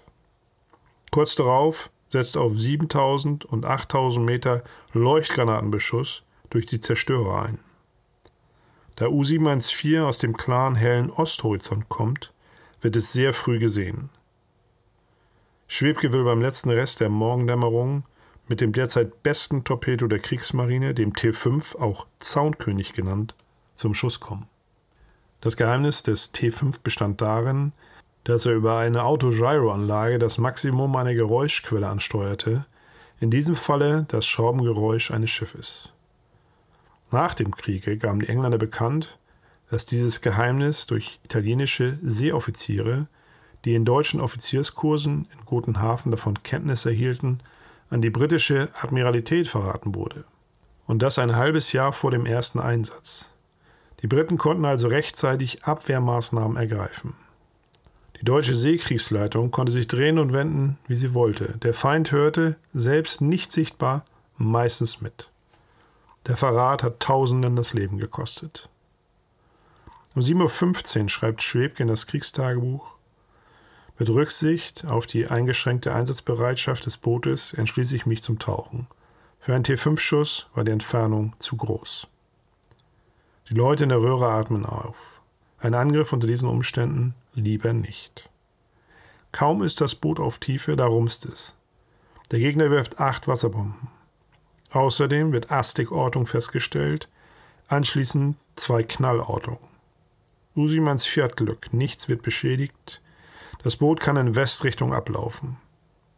Die Horchpeilung eines Zerstörers verliert sich im Osten. Schwebke befiehlt Seerohrtiefe und schaut durch die Optik.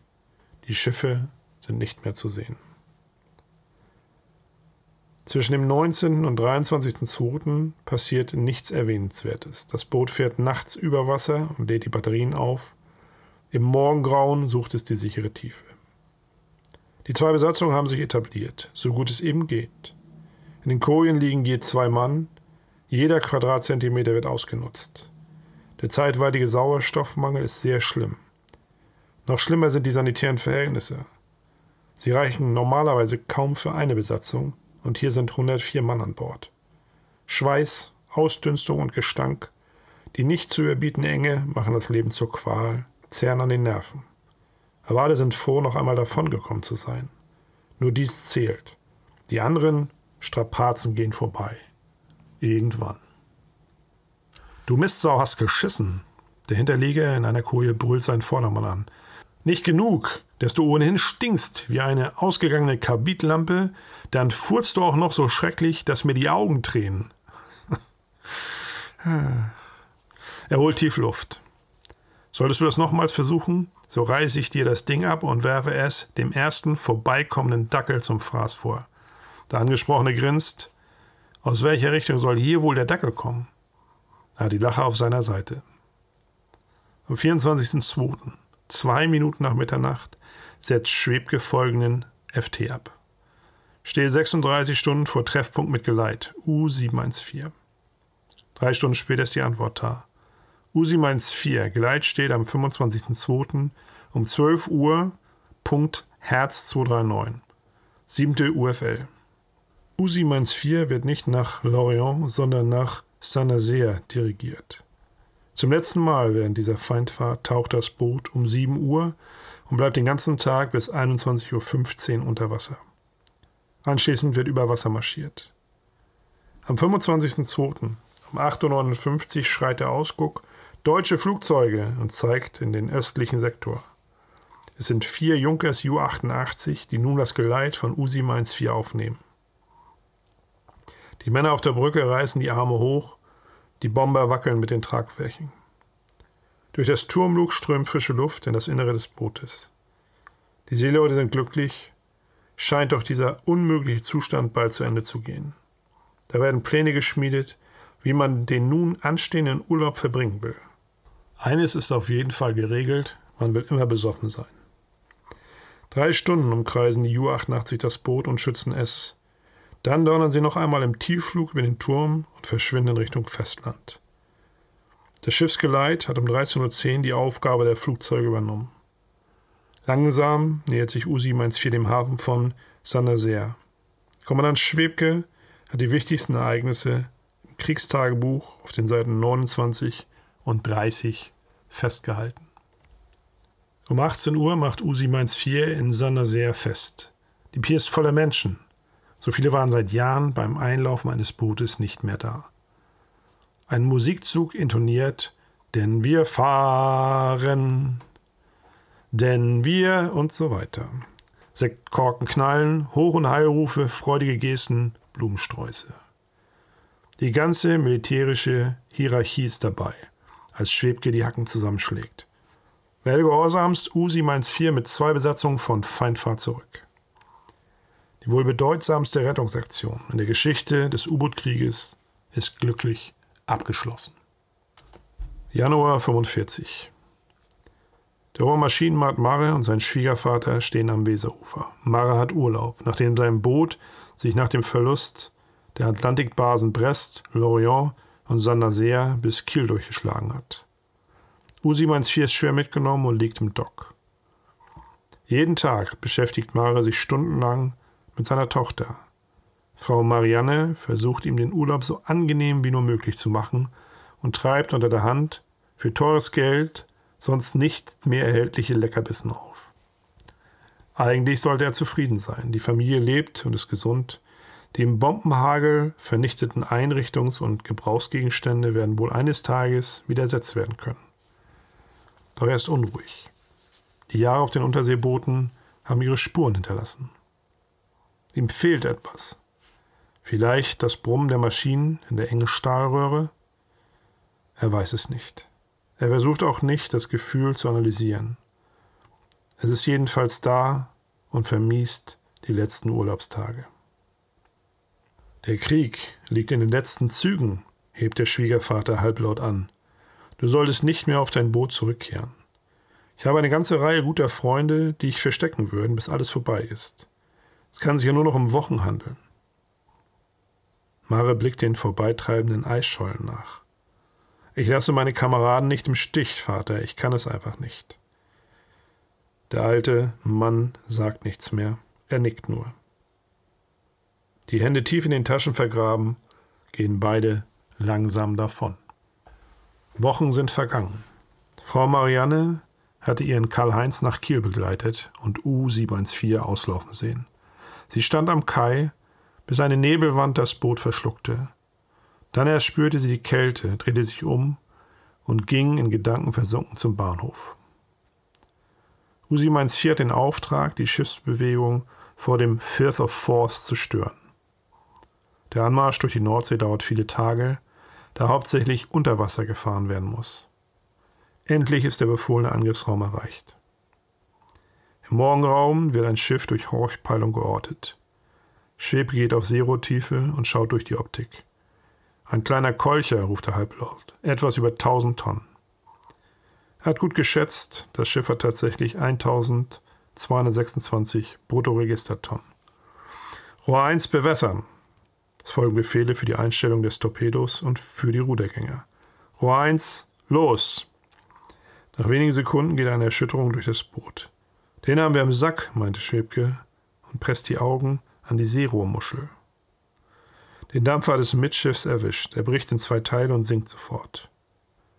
Der Kommandant lässt den Einzüger durchs Seerohr schauen. Dann winkt er den Elia an. Dieser meint jedoch nach wenigen Augenblicken, da ist nichts mehr zu sehen, Herr Kaloin. Nicht möglich, antwortet Schwebke und nimmt das Seerohr. Doch die See ist tatsächlich leer. Das Schiff ist in wenigen Sekunden gesunken. Drei Stunden später. Der Kommandant sitzt hinter dem grünen Vorhang und brütet über dem Kriegstagebuch. Schraubengeräusche Backbord voraus. Im Nu steht er am Seerohr. Ausfahren! In die nur wenig aus dem Wasser ragende Linse wandert der norwegische Minensucht-Trawler Nordham ein, der jetzt unter britischer Flagge fährt. Die Wache lehnt dösend auf der Brücke. Die Besatzung verstaut bereits persönliche Dinge in den Seesäcken. Nach anstrengenden Wochen auf See befindet man sich jetzt nur noch wenige Meilen vor dem Hafen. Es geht bald los, meint der Rudergänger zum Wachoffizier. Dieser nickt und grinst. Und wie, erwidert er. Eine Woche lang ziehe ich keine Hose mehr an.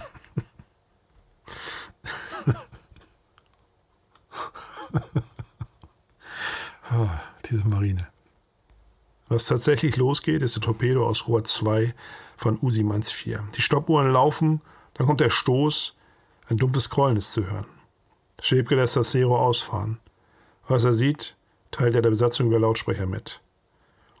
Dem Trawler hat's das Vorschiff abgerissen. Er hat Schlagseite und sinkt langsam. Wir können uns einen weiteren Torpedo sparen.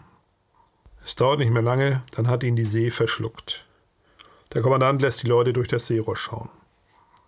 Auf der Nordhaven sieht es fürchterlich aus. Einige Matrosen liegen tödlich verletzt zwischen den geborstenen Aufbauten Mühsam versuchen die Überlebenden, mehr oder minder schwer verwundet, auf die Beine zu kommen. Die Detonation hat allen den Boden unter den Füßen weggerissen. Auch der Funker hat überlebt. Er rappelt sich aus einem Wust von Drähten und zerschlagenen Apparaten hoch, überprüft sofort das Funkgerät. Wie durch ein Wunder ist dieses noch heil. Stöhnend sinkt er auf seinen Hocker, die rechte greift automatisch nach der Taste Dididid, da da da, Dididid. Save our souls, SOS. Es folgt die Positionsmeldung, dann wiederholt er SOS. Das eindringende Wasser setzt seinen Bemühungen ein Ende. Die britische Admiralität hat die südafrikanische Fregatte Natal ex Loch Cree mit Überwachung des Firth of Forth betraut. Der diensthabende Funker hört den Hilferuf, seine Hand rast über den Schreibblock. Dann reißt er den Bogen ab, reicht ihm seinem Kameraden hinüber und ruft Bring's dem Kapitän, aber schnell. Der Matrose spurtet los. Ein Hilferuf, Sir. Mit einer hastigen Bewegung greift der Kapitän nach dem FT und liest. Dann reißt er den Hebel des Maschinentelegraphen herum. Die Fregatte kam mit Höchstfahrt angebraust. Das helle Singen der Schrauben war am U-Boot deutlich zu hören. Auch nahm das Geräusch des auf die Außenhaut auftreffenden Astikstrahles an Intensität ständig zu. Bang schaute die Besatzung zur Decke. Wird es heute noch mal gut gehen? Das Schicksal hatte die Antwort parat. Auf der Natal trat der Hedgehog in Aktion. Noch während die Geschosse unterwegs waren, drehte sie scharf nach Backbord ab. Im nächsten Moment wuchs eine turmhohe Wasserfontäne aus der grauen See, begleitet von Krachen einzelner Explosionen. So, abschließend noch ein paar Informationen. Also USI-4 hat diesen Trawler Nordhaven ja versenkt. Von den 23 Besatzungsmitgliedern konnten 17 gerettet werden. Der Frachter, der versenkt wurde mit diesen 1226 Bruttoregistertonnen, hatte 21 Soldaten oder beziehungsweise Männer an Bord, davon überlebten nur 11. Und diese südafrikanische Fregatte hatte laut Eintrag hier ein Squid Wasserbombenwerfer und kein Hedgehog an Bord. Ist ja auch egal. Auf jeden Fall hat diese Fregatte Usimans 4 versenkt und alle 50 Besatzungsmitglieder sind dabei umgekommen. Ja, es gibt also im Internet noch ganz viel über das Boot. Kann man sich alles noch durchlesen und sich noch Bilder angucken. Das äh, würde jetzt hier aber den Rahmen sprengen.